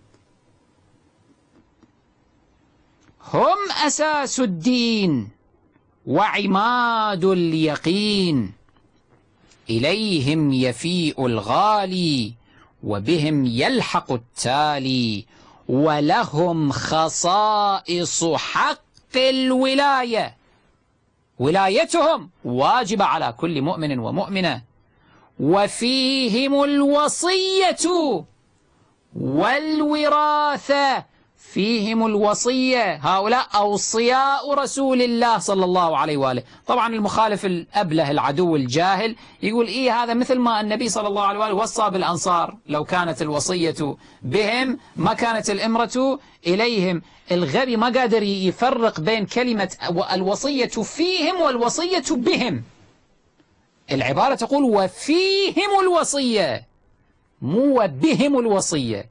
فيهم فيهم. يعني الوصية النبوية فيهم. أي هم أوصياء النبي صلى الله عليه وآله. مو الوصية وبهم الوصية حتى يكون المعنى أن النبي صلى الله عليه وآله أوصانا بهم أن نراعيهم ونراعي حقهم. شو ما عارفين يميزون لأنهم ليسوا متضلعين ما عندهم علم. وفيهم الوصية وهنا أكو قرينة أيضا على أن هذا المعنى هو الذي نقوله. وفيهم الوصية والوراثة ورثوا النبوة. الآن إذ رجع الحق إلى أهله. تريدون بعد أصرح من هذه العبارة؟ لما تولى أمير المؤمنين عليه السلام قال هذه الخطبة قال الآن إذ رجع الحق إلى أهله. يعني قبل ذلك كان الحق عند من؟ ما كان الحق عند أبي بكر وعمر وعثمان. لأنه الآن إذ رجع الحق إلى أهله إحنا أهل الحق. إذا من تقدمنا كان حقنا مسلوبا. فإذا أبو بكر وعمر وعثمان كانوا الظلمة الآن إذ رجع الحق إلى أهله ونقل إلى منتقله. لا يلاحظون هذه المحكمات. ما يلاحظون الخطبة الشقشقية التي فيها الطعن على أبي بكر وعمر وعثمان. لشد ما تشطر ضرعيها. بعد ماذا تريد أصرح من ذلك؟ وهذه الخطبة مثل تلك ال... ذلك الكلام المنحول الذي وضع على أمير المؤمنين عليه السلام الذي رواه هذا الوضاع وغيره وأمثاله من رواياتكم. لا الخطبة الشقشقية لدينا أسنادها رواها الشيخ الصدوق ورواها الأعلام. فيطمئن المرء إلى أنها صادرة, صادرة عن أمير المؤمنين صلوات الله وسلامه عليه. لشد ما تشطر ضرعيها. يعني أبو بكر وعمر أخذا الخلافة مثل بقرة كل واحد أخذ له الثدي ضرع. وهذا يمص وهذا يمص. لشد ما تشطرا ضرعيها. كل واحد تشاطر مع الآخر في أن ينهب الخلافة. أرى تراثي النهبة هذا هذا خطبة الشقشقية هكذا يقول أمير المؤمنين عليه السلام. إلى أن جاء ثالث القوم بين نثيله ومعتلفه. دابة كان ماذا تريدون أصرح من ذلك؟ هذه محكمات. لا بد أن نحمل هذا المتشابه على هذا المحكم حتى نفهم حينئذ نفهم بأن أمير المؤمنين عليه السلام حاشاه لا يعبر عن أبي بكر وعمر أنهما عملا بالحق. تخرصاتكم هذه. علماؤكم كانوا يفهمون هذا الشيء. يعرفون أن نهج البلاغة مليء بالطعن على أبي بكر وعمر ولذلك رفضوه.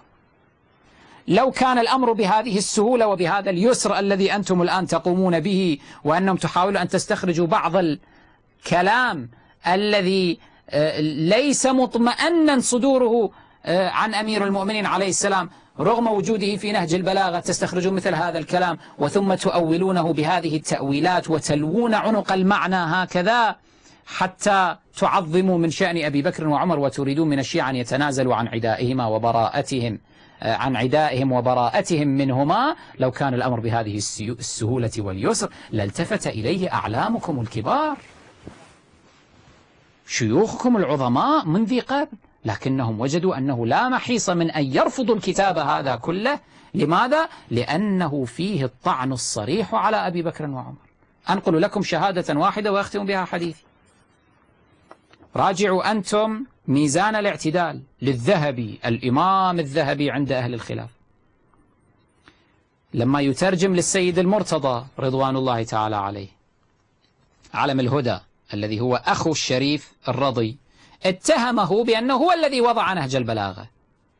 يقول في المجلد الثالث الصفحة 124 يقول وهو المتهم بوضع كتاب نهج البلاغة مع أنه أحمق الذهبي طبعا ما يفتهم.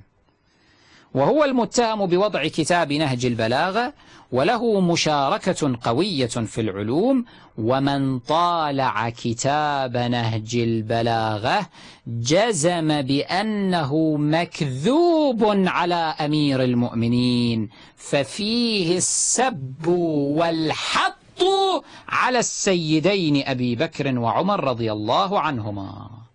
إذا في الواقع وهذه بشهادة أعلامكم نهج البلاغة يصرخ بالتنديد بأبي بكر وعمر وسيرتهما واعتبارهما ظالمين جائرين. لو كان الأمر كما تزعمون لما رفض علماؤكم الكبار نهج البلاغة إنهم يدركون هذه الحقيقة. بهذا نختم كلامنا تفضلوا. أحسنت سماحة الشيخ طيب الله أنفاسكم سماحة الشيخ كان إخوان متصلين وكانت في أسئلة كثيرة. من من الأسئلة كان عندنا أخ اسمه أحمد من الكويت. كان عنده سؤال عن الروايات التي كانت تذكر أو تنهى عن الخروج قبل خروج الإمام المهدي عجل الله تعالى فرجه. منها ما خرج عن الإمام أبو عبد الله الصادق عليه السلام ما خرج ولا يخرج منا أهل البيت إلى قيام الاسم الخاص للإمام أحد ليدفع ظلما أو, ين أو ينعش حقا إلا اصطلمته البلية وكان قيامه زيادة في مكروهنا وشيعتنا. وروايات كثيرة آه، تذكر أو تنهى عن الخروج قبل آه، خروج الإمام.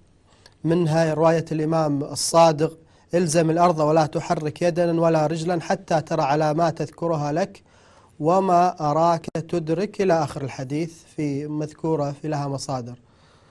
إيه هذا إيه بس في طبعا هذا اللي تسجل عندنا من الأخو بس في هم اتصالات إيه خلنا ناخذها وبعدين نجاوبه مرة واحدة إن شاء الله. إيه ناخذ أبو رضا من البحرين. السلام عليكم.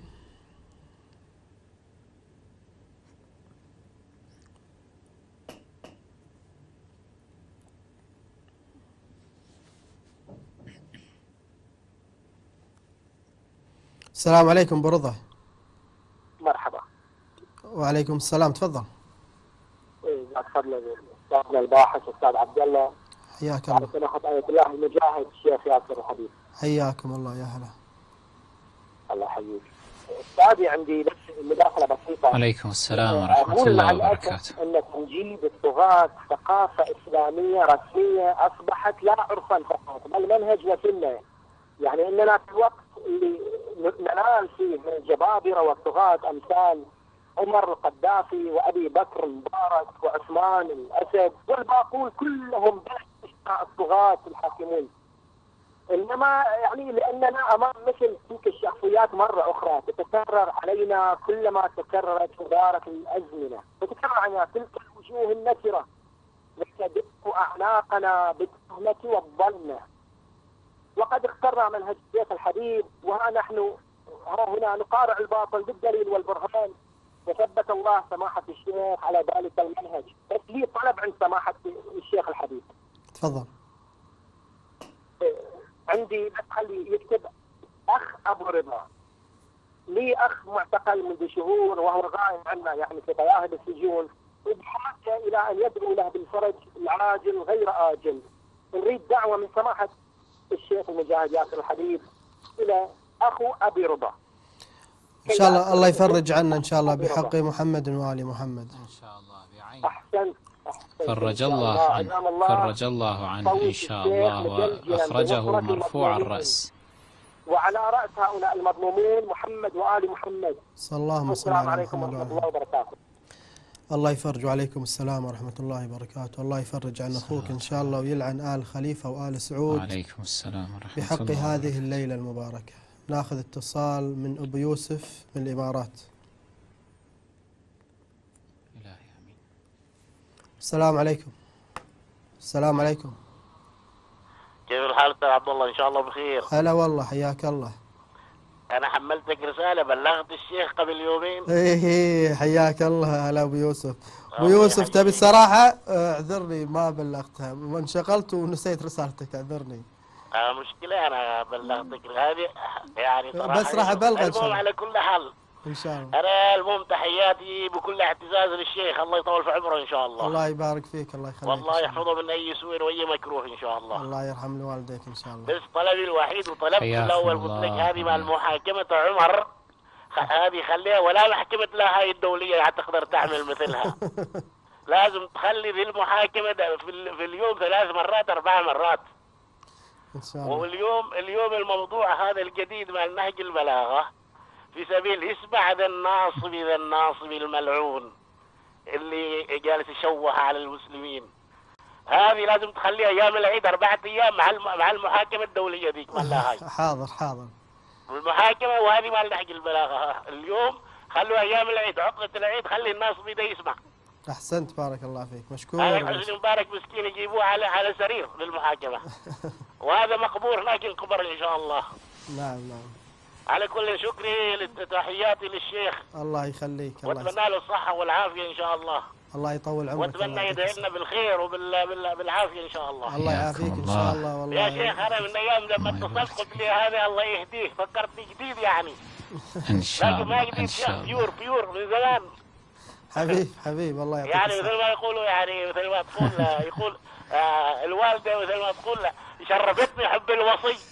سلام الله على وذيك الوصي يوم الشيخ يفكرني جديد بعد ما اليومين على كل حال تحياتي لكم جميعا إن شاء الله. بارك الله فيك. الله يحفظ. الشيخ إن شاء الله هنيئا ويجيبكم. هنيئا السلام عليكم ورحمة الله وبركاته. السلام ورحمة الله وبركاته. الله يحفظكم إن شاء الله.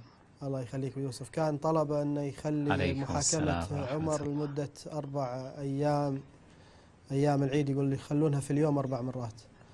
ناخذ آه، آه، محمد حسن من البصرة. السلام عليكم. السلام عليكم. السلام عليكم. وعليكم السلام ورحمة الله وبركاته. كيفك يا عبد الله؟ حياك الله؟ حبيبي طال عمرك. الله يخليك.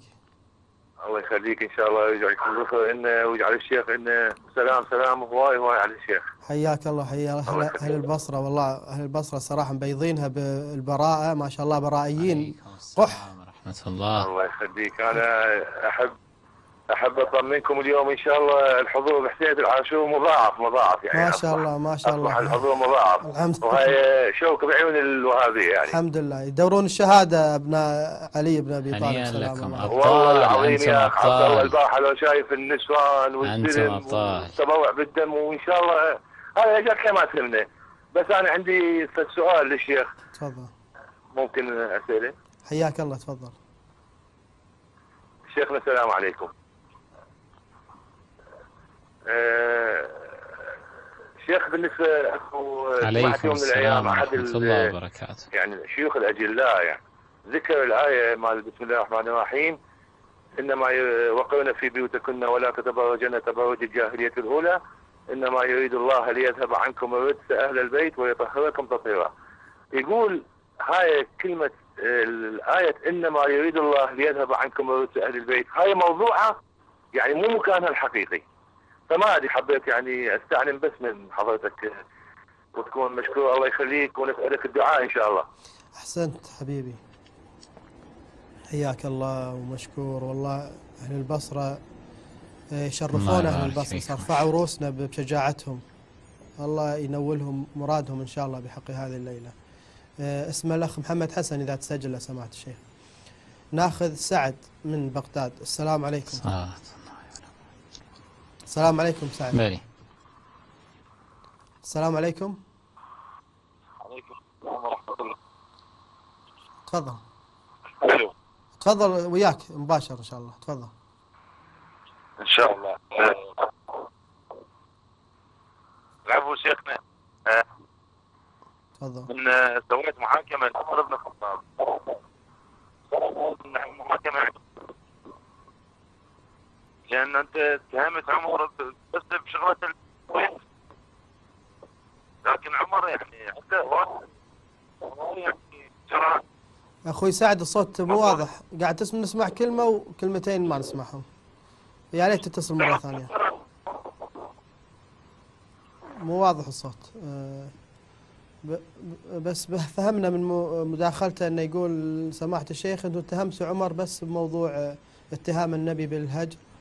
والظاهر العمر بلاوي كثيرة وده يطرحهم. نشكر الأخ سعد من بغداد وناخذ أبو عبد الله من البصرة. السلام عليكم. السلام عليكم. السلام عليكم أخي عبد الله. وعليكم السلام ورحمة الله وبركاته. حياك الله. سلام من محاولات سماحه الشيخ حياك حياك الله وحيا أهل البصرة. عندي كم سؤال عليكم السلام ورحمة الله السؤال وبركاته. الأول آه، آه، آه، دائما سماحة الشيخ يطرق يقول أنا كنت عايش ويا المجتمع البكري وهاي. فهل أنه كان بكري وتحول إلى المذهب الشيعي؟ هذا السؤال الأول. وما هي الدرجة العلمية لسماحة الشيخ؟ هل واصل إلى مرحلة البحث الخارج أو غيره من الدروس الحوزوية؟ وقبل فترة تطرق سماحة الشيخ إلى موضوع هجرة بعض الشيعة إلى الخارج وتشكيل هيئات وجمعيات. فماذا يقصد من هذه ال- الهجرة يعني؟ لأن أنا ما لحقت على البرنامج في نهايته يعني. تشكيل هيئات وعندي وهجرة طلب خاص يعني سماحة الشيخ هجرة؟ يعني هذا الكتاب الفاحشة أتمنى أتمنى ي- ينطبع أكثر من نسخة لأن إحنا بالعراق ما جاي هذا الكتاب. زين؟ لأن قبل فترة الشيخ التيجاني برنامج ذكر كتاب ثم اهتديت آه، انهدى حسب الأرقام الموجودة انهدى من عنده وتشيع من البكريين مليون شخص. زين؟ فإن شاء الله هذا الكتاب مع سماحة الشيخ ينهدي من عنده الملايين مو المليون. نعم. جزاكم الله لحظة. أخوي أبو عبد الله بس السؤال الثالث لو سمحت تسمعني السؤال الثالث؟ الثالث تشكيل هيئات آه، تفضلتوا. آه، الهجرة وتشكيل هي- الهيئات.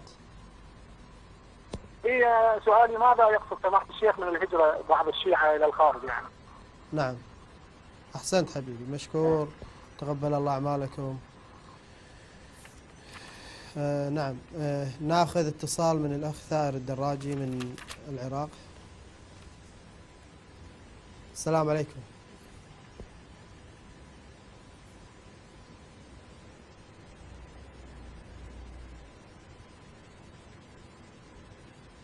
السلام عليكم. السلام عليكم ورحمة الله وبركاته. حياك الله. حياكم الله. طبعا سماحة الشيخ أشبع الموضوع وبين الحقيقة بأنهم يؤمنون ببعض ويكفرون ببعض كما حالهم كما يفهمون الآيات القرآنية هكذا.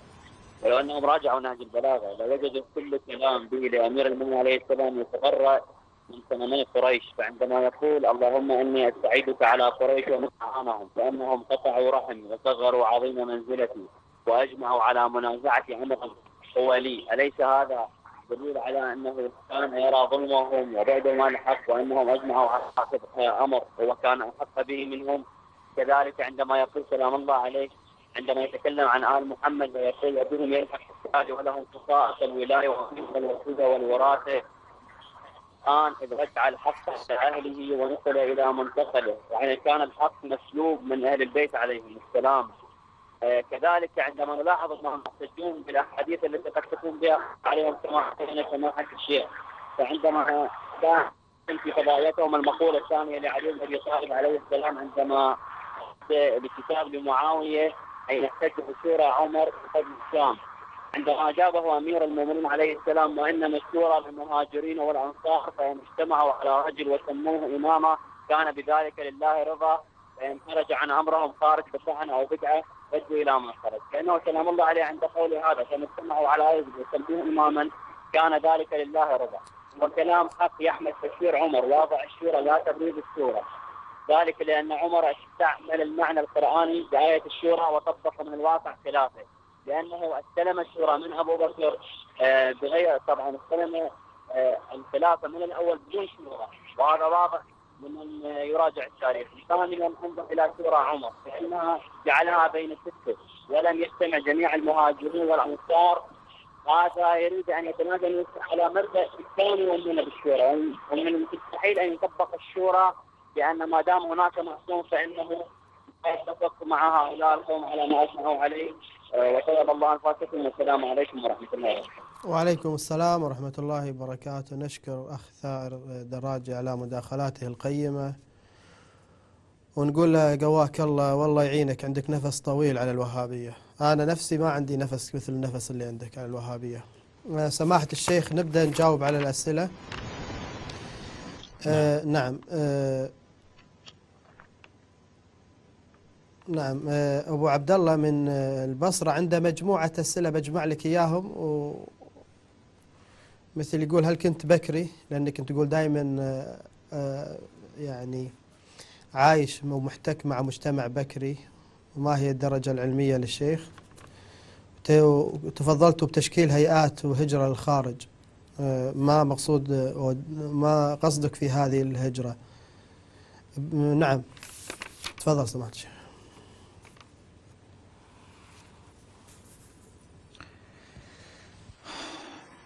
يعني أما أنه كنت بكريا فلا والحمد لله وإنما ولدت شيعيا بفضل الله عز وجل علينا ولكن أجداد أجدائي أجداد أجدادي كانوا بكريين.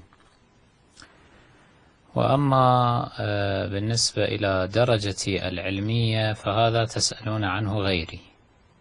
ليس لي أن أقيم نفسي. وأما بالنسبة إلى السؤال الثالث فكان جوابا حقيقة على أحد الإخوة الأكارم الذين اتصلوا من الكويت أثناء هذا البث المباشر. وكان يشتكي من الظلم الذي يقع على الشيعة في منطقة الخليج. واستفسر منا عن رؤيتنا لرفع هذا الظلم عنهم. هل أن نوصي بالهجرة أم لا؟ فقلت بأن الذي ينبغي أن يحصل هو توزيع للأدوار. الكفاءات التي يمكن لها أن تقوم بدور جدي في إنهاض الأمة الشيعية والدفاع عن حقوقها وتحشيد الرأي العام العالمي ضد الأنظمة الحاكمة التي تضطهد الشيعة وتحرمهم من حقوقهم هذه الكفاءات عليها أن تقسم نفسها إلى قسمين. قسم يهاجر إلى الخارج ويقوم بتشكيل منظمات للدفاع عن حقوق الإنسان الشيعي ويدخل في دهاليز السياسة العالمية مع القوى الكبرى حتى نتمكن من أن نحشد هذه القوى للضغط على هذه الأنظمة. وقسم يعمل في الداخل. عبر القنوات الدبلوماسية المتاحة أو القنوات السياسية المتاحة آه، ولو على سبيل خذ وأعطي مثلا من أجل أن يتكامل الطرفان معا. هذا على المدى الطويل يمكن له أن يحقق مبتغانا إن شاء الله تبارك وتعالى من رفع الظلم عنا في هذه المنطقة بل إننا ننظر إلى أبعد من ذلك وهو تأسيس الدولة الشيعية أو هذا الكيان الذي يجمع الشيعة كوطن لهم هم أحرار فيه وللآخرين أيضا حريتهم في دولهم وفي أوطانهم. والكلام في هذا مفصل في واقع الأمر. وأنا كما يعلم الأخوة مني يعني لا أتعاطى مباشرة في السياسة بمعنى أني لا أزاول لا أحب أن أزاول ولكني لي مواقف السياسية ولي نظرياتي أو رؤيتي في هذا الشأن ألقيها هكذا لمن يمكن أن يستقبلها. وعسى الله عز وجل يجعل فيها يعني البركة والخير. وأحسب أن الذي ينظر فيها جيدا يمكن له أن يستوعب أن هذه النظرية أو هذه النظريات آه، يمكن لها أن تحقق الكثير في هذا الشأن. وإني لا أتحدث هنا فقط بصفتي رجل دين فالإخوة يعلمون كذلك أني قد درست العلوم السياسية ولي آه، اطلاع على هذا الشأن ولي قراءاتي السياسية في هذا الشأن. أحسن سماحة الشيخ وحبيت أذكرك في سؤال اللي طرحته على سماحتكم بداية البرنامج عن الروايات التي تحث أو على الناس على عدم آه، الخروج قبل ظهور الإمام المهدي. نعم بالنسبة إلى هذا السؤال فنحن آه، أجبنا عليه بشيء من التفصيل في موقع القطرة إذا يراجع الأخ الكريم. ولا يسعنا هنا أن نفصل كثيرا لأن هذا بحث فقهي خلافي بين الحوزات والفقهاء. والذي نقوله وننتهي إليه وأشرنا إليه في ذلك الجواب على موقع القطرة أنه كما أن عندنا روايات تنهى كذلك عندنا روايات تحض على الخروج وتحض على الثورة على الظالمين. حتى أن الصادق صلوات الله عليه مثلا يقول وددت مضمون الحديث لو أن الخارجي يخرج من آل محمد عليهم السلام وعلي نفقة عياله فليخرج وأنا أنفق على عياله من بعده فهناك جمع بين هاتين الطائفتين من الأدلة. آه، يمكن أن نوجه الأمر على هذا التوجيه أنه تلك الروايات الناهية إنما تنهى عن تلك الثورات التي أو الانقلابات في الواقع التي كان يراد بها تأسيس حكم دنيوي محض بشعار آل محمد عليهم الصلاة والسلام. كما صنع مثلا العباسيين. وأما إذا ما كانت هنالك ثلة مؤمنة بإجازة من حاكم الشرع تنهض وتحاول إرجاع الحق إلى نصابه وتوطئ لظهور الإمام صلوات الله وسلامه عليه فيكون غرضها من الخروج والثورة وتأسيس الدولة غرضا دينيا لا غرضا دنيويا. الغرض هو إقامة دين الله أن أقيموا الدين كما جاء في القرآن الحكيم. فالظاهر أن هذه الروايات التي لسانها لسان المنع عن القيام والثورة والخروج. لا تشمل هذا الفرد. لا تشمل هذه الحالة. وأصرح دليل على ذلك أن عندنا استفاضة في الأخبار في أن هنالك ثورات سيقوم بها بعض من الشيعة الأجلاء قبيل زمان الظهور المقدس وسيؤسس هؤلاء دولا. سيخرجون على الحكام الظالمين ويؤسسون دولا عادلة مدحت ومدح أصحابها في هذه الروايات الشريفة التي هي مروية عندنا باستفاضة.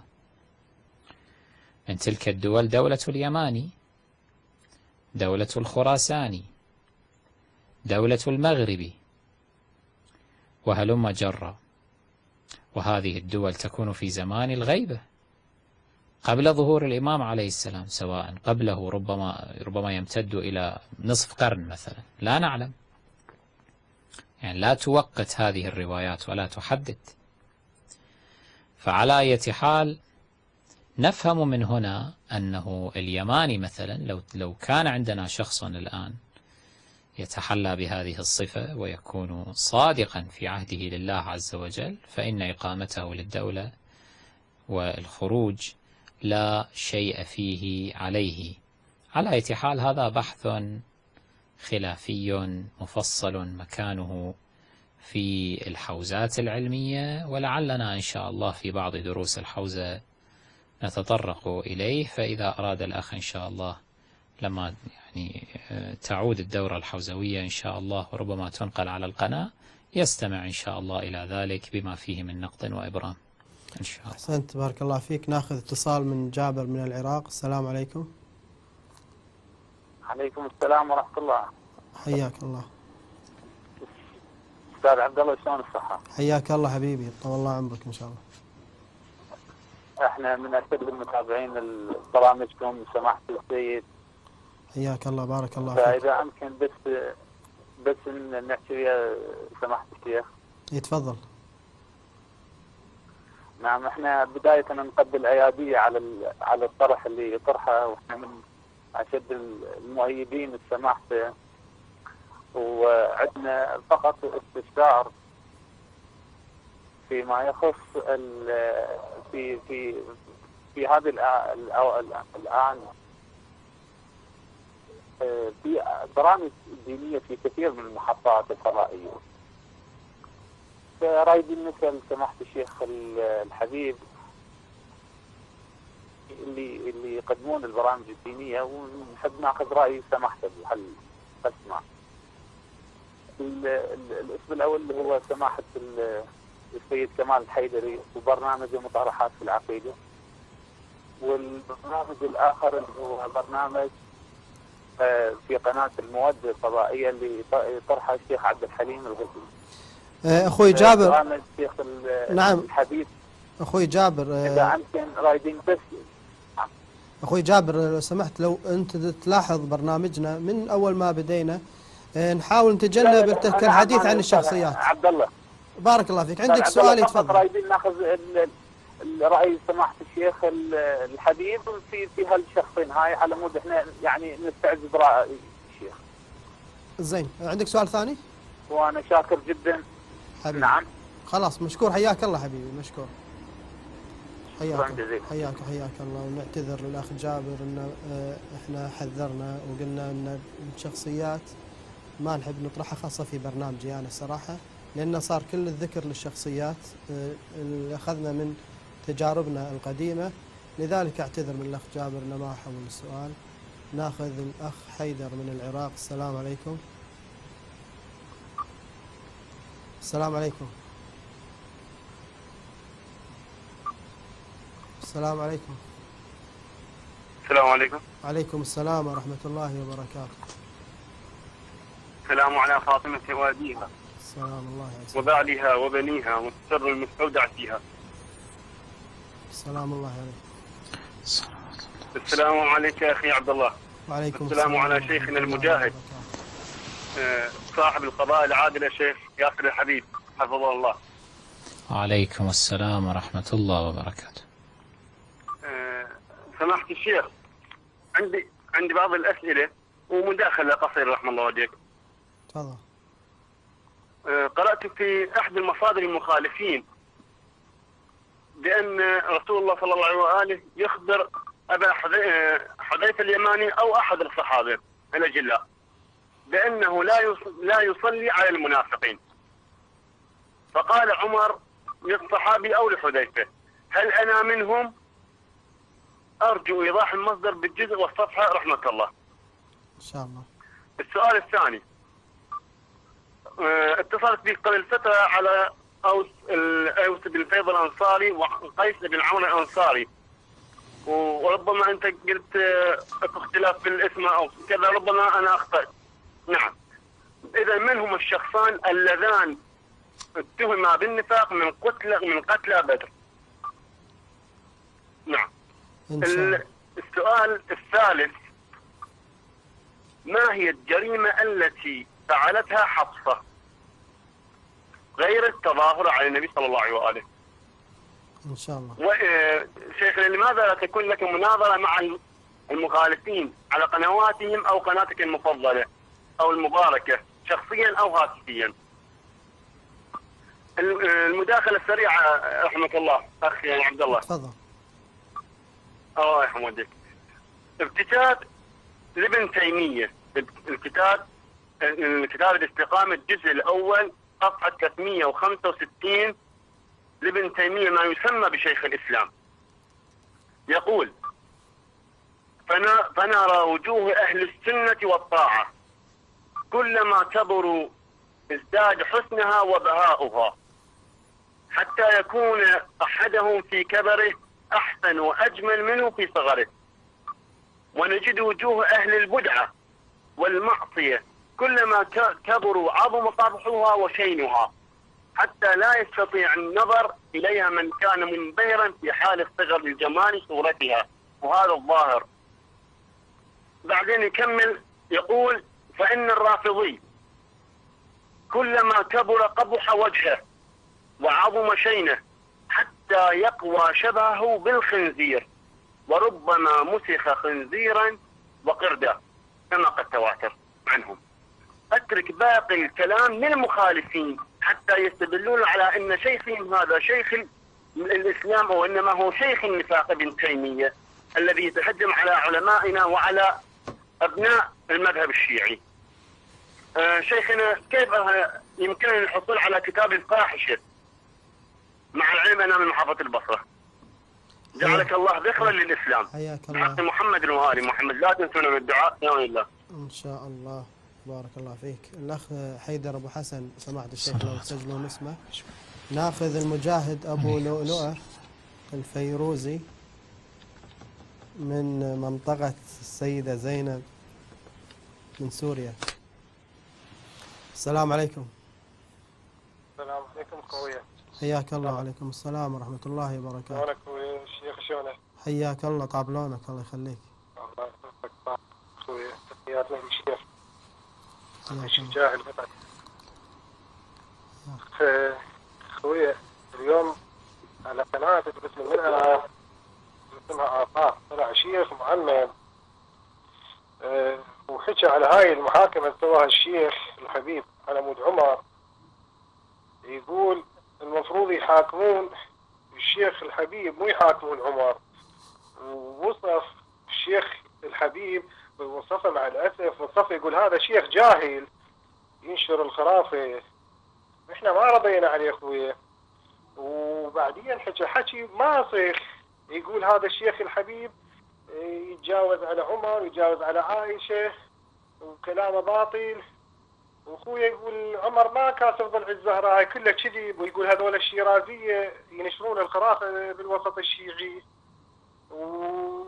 ويحكي في الحكي ماسخ ما رضينا إحنا عليه كل قاعدين يعني من كل المحافظات. بعدين سألنا واحد من الإخوان قال خويا هذا كان هنا الشيخ بش اسمه؟ بالسيدة زينب يقول كان حافي جدي قال يشتري بالدين. يقول بس بال 2008 إيه، زوج بنته لاحمد بن المالكي. بعدين المالك عينه مستشار للشؤون الدينية. وصار يملك القصور والفنادق وهسه عندنا مصرف اسمه المصرف الإسلامي بالعراق وصار مثل خير الله طلفاح يقول لك كل بيوت المنطقة الخضراء هو تملكها يعني إحنا ما نعرف يعني هسه اللي طرقعتنا من الوهابية من المعلمين مالتنا. والله ما ندري. نريد الشيخ يجاوب يفهمنا. والله ضاعت علينا. ورحم الله والديكم. والديك الجنة إن شاء الله. اسم. الشيخ هذا اسمه آه اسمه عبد الحليم الزهيري. حياك الله حبيبي. المجاهد أبو لؤلؤة. سلام الله على أبو لؤلؤة الذي اقتص من عمر بن صهاك. لعنة الله عليه. أه سماحة الشيخ عندنا أه مجموعة أسئلة للأخ حيدر أه أبو حسن من العراق. يقول في رواية تقول أن النبي صلى الله عليه وآله أخبر أبو أبو حذيفة بن اليمان رضوان الله عليه أن لا يصلي على المنافقين. وقال عمر هل أنا منهم؟ يريد مصدر هذه الرواية.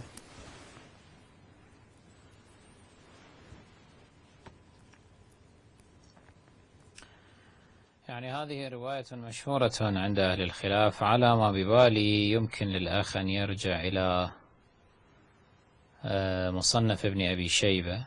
يجدها إن شاء الله هناك. ولعله يجدها أيضا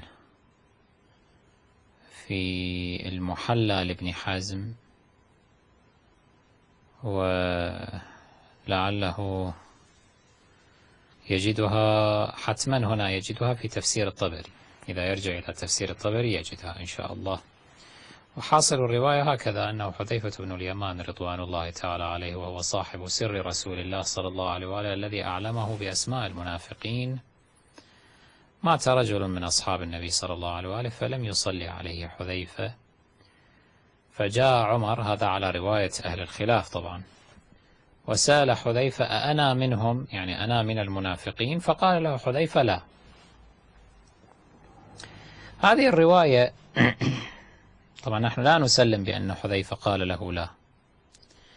ولكن نقول نحتج بهذه الرواية على أهل الخلاف في نقطة جدا مهمة لم يلتفتوا إليها. هم يقولون أن عمر مبشر بالجنة هو من العشرة المبشرة بالجنة. نقول إذا كان هذا صحيحا وصادقا فكيف يسأل عمر حذيفة عن أنه هل هو من المنافقين أم لا. معنى ذلك أن عمر يشك في أنه من أهل الجنة. فإذا يبطل ذلك الحديث ونعلم بأن ذلك الحديث حديث العشرة المبشرة موضوع مكذوب لأنه لا يعقل أن عمر يسمع من النبي صلى الله عليه وآله أنه يبشره بالجنة ويقول أنت حتما ذاهب إلى الجنة ومع ذلك يشك في كونه من المنافقين والمنافقون لا يذهبون إلى الجنة. وهذه من جملة التناقضات لدى الديانة البكرية. نعم ولدى الأخ سؤال آخر آه، عندما سأل عن شخصيتين ويقول أنه كان مشتبه في الأسامي يقول من هما الشخصان اللذان اتهما بالنفاق آه، بعد من قتل بدر؟ هم من قتل بدر وهم يعني اتهموا بالنفاق.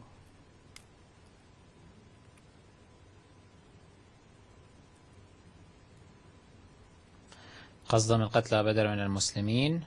نعم.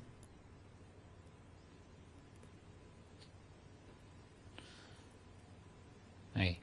يعني إحنا ذكرنا في سلسلة كيف آه، سلسلة أكذوبة عدالة الصحابة أنه النبي صلى الله عليه وآله ذكر أن جماعة ممن قاتلوا في بدر وكذلك ممن قاتلوا في أحد كانوا منافقين وقد قاتلوا عن أحسابهم وعن آه، لامرأة ينكحونها أو لمال يأخذونه وما أشبه. ذكرنا أسماء بعضهم ومن بين هؤلاء واحد اسمه قزمان. وهذا الرجل أبلى بلاء حسنا في القتال لكن النبي صلى الله عليه وآله بشره بالنار وأنه ذاهب إلى النار.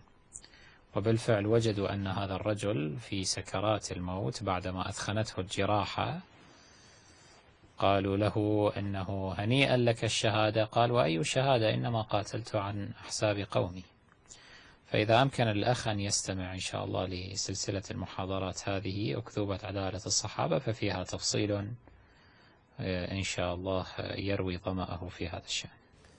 آه، ما هي جريمة الجريمة التي فعلتها حفصة لعنها الله غير تظاهرها على النبي؟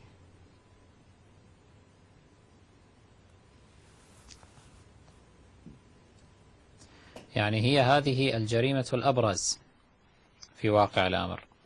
التظاهر على النبي صلى الله عليه وآله وإفشاء سره وثم المشاركة في آه، سمه. هي للعلم عائشة وحفصة تواطأتا كما يقول الإمام الصادق عليه السلام في مضمون كلامه على أن يسما النبي صلى الله عليه وآله بأمر من أبويهما. وثم بعد ذلك توالت جرائم هذه المرأة الملعونة وإن كان دورها خاملا بالقياس إلى عائشة. يعني حفصة بالنسبة إلى عائشة آه، يعني آه، آه، كقطرة في بحر إجرام عائشة. هكذا يمكن أن نعبر. يعني عائشة جدا كانت ظالمة ومجرمة. أما حفصة فدورها كان أقل بكثير وكان دورها خاملا. من بين جرائمها مثلا أنها عقدت اللي هي حفصة عقدت مجلس طرب في بيتها استدعت مجموعة من الساقطات يغنين لها بهجاء أمير المؤمنين صلوات الله وسلامه عليه لما ارتحل أمير المؤمنين عليه السلام من المدينة للبصرة لقتال عائشة وجندها. في تلك الأثناء عائشة أرسلت رسالة إلى حفصة تبشرها بأنه إحنا صار عددنا كثير وصار معنا الكثير من الجند وعلي هذا واقع الآن فريسة تحت أيدينا وقضية أيام قلائل. وتسمعين خبر أنت. فاستبشرت حفصة وجمعت مجموعة من الساقطات.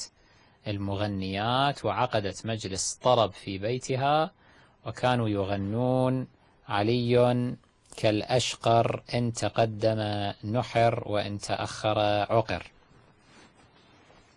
ويضربون الدفوف وما أشبه. فكانت امرأة ناصبية خبيثة كأختها عائشة. أحسن سماحة الشيخ طيب الله أنفاسكم باختصار الأخ حيدر أبو حسن آه، سأل عن المناظرات آه، مع المخالفين ونرد عليه بأن سماحة الشيخ وجه تحدي إلى جميع المخالفين سواء علماء أو مثقفين. اللي يبي ناظر يتفضل ونعطيه آه، الوقت الكافي ولكن لا مجيب. كتاب الفاحشة شخصيا بعثت تقريبا 64 نسخة إلى البصرة و حجزت في مطار البصرة حجزتها حكومة المالكي التي تبيح كتب الوهابية وكتب الدعارة وكتب الفسق و ومنعت كتاب الفاحش الوجه الآخر لعائشة دفاعا عن أمهم عائشة. حشر الله المالكي وحكومته مع عائشة. آه، المجاهد أبو لؤلؤة الفيروزي يقول عن معمم آه، قال أن محاكمة آه، سماحة الشيخ لعمر بن صهاك ضد الشيخ ويقول طرقاعتنا من منو؟ أقول له من معممينكم البترية ومن الوهابية بس أهم شيء من البترية هذين لو ينظفون شوية وينقون جيوبهم شوية ويأكلون حلال ما قال هذا الكلام. ونقول له بس شيء واحد حشرك الله مع عمر وكسر الله ضلعك كما تقول أن عمر لم يكسر ضلع الزهراء. سماحة الشيخ ما بقى وقت فحبيت أجاوب على السريع عن إذنك. سماحة الشيخ ونشكرك على تواجدك معنا. وبارك الله فيك ونسألكم الدعاء. أحسنت أحسنت. جزاكم الله خيرا. حياك الله, الله. حياكم الله. أعزائي المشاهدين ما بقي لي إلا أن أستغفر الله لي ولكم وأستودعكم الله الذي لا تضيع ودائعه. والسلام عليكم ورحمة الله وبركاته.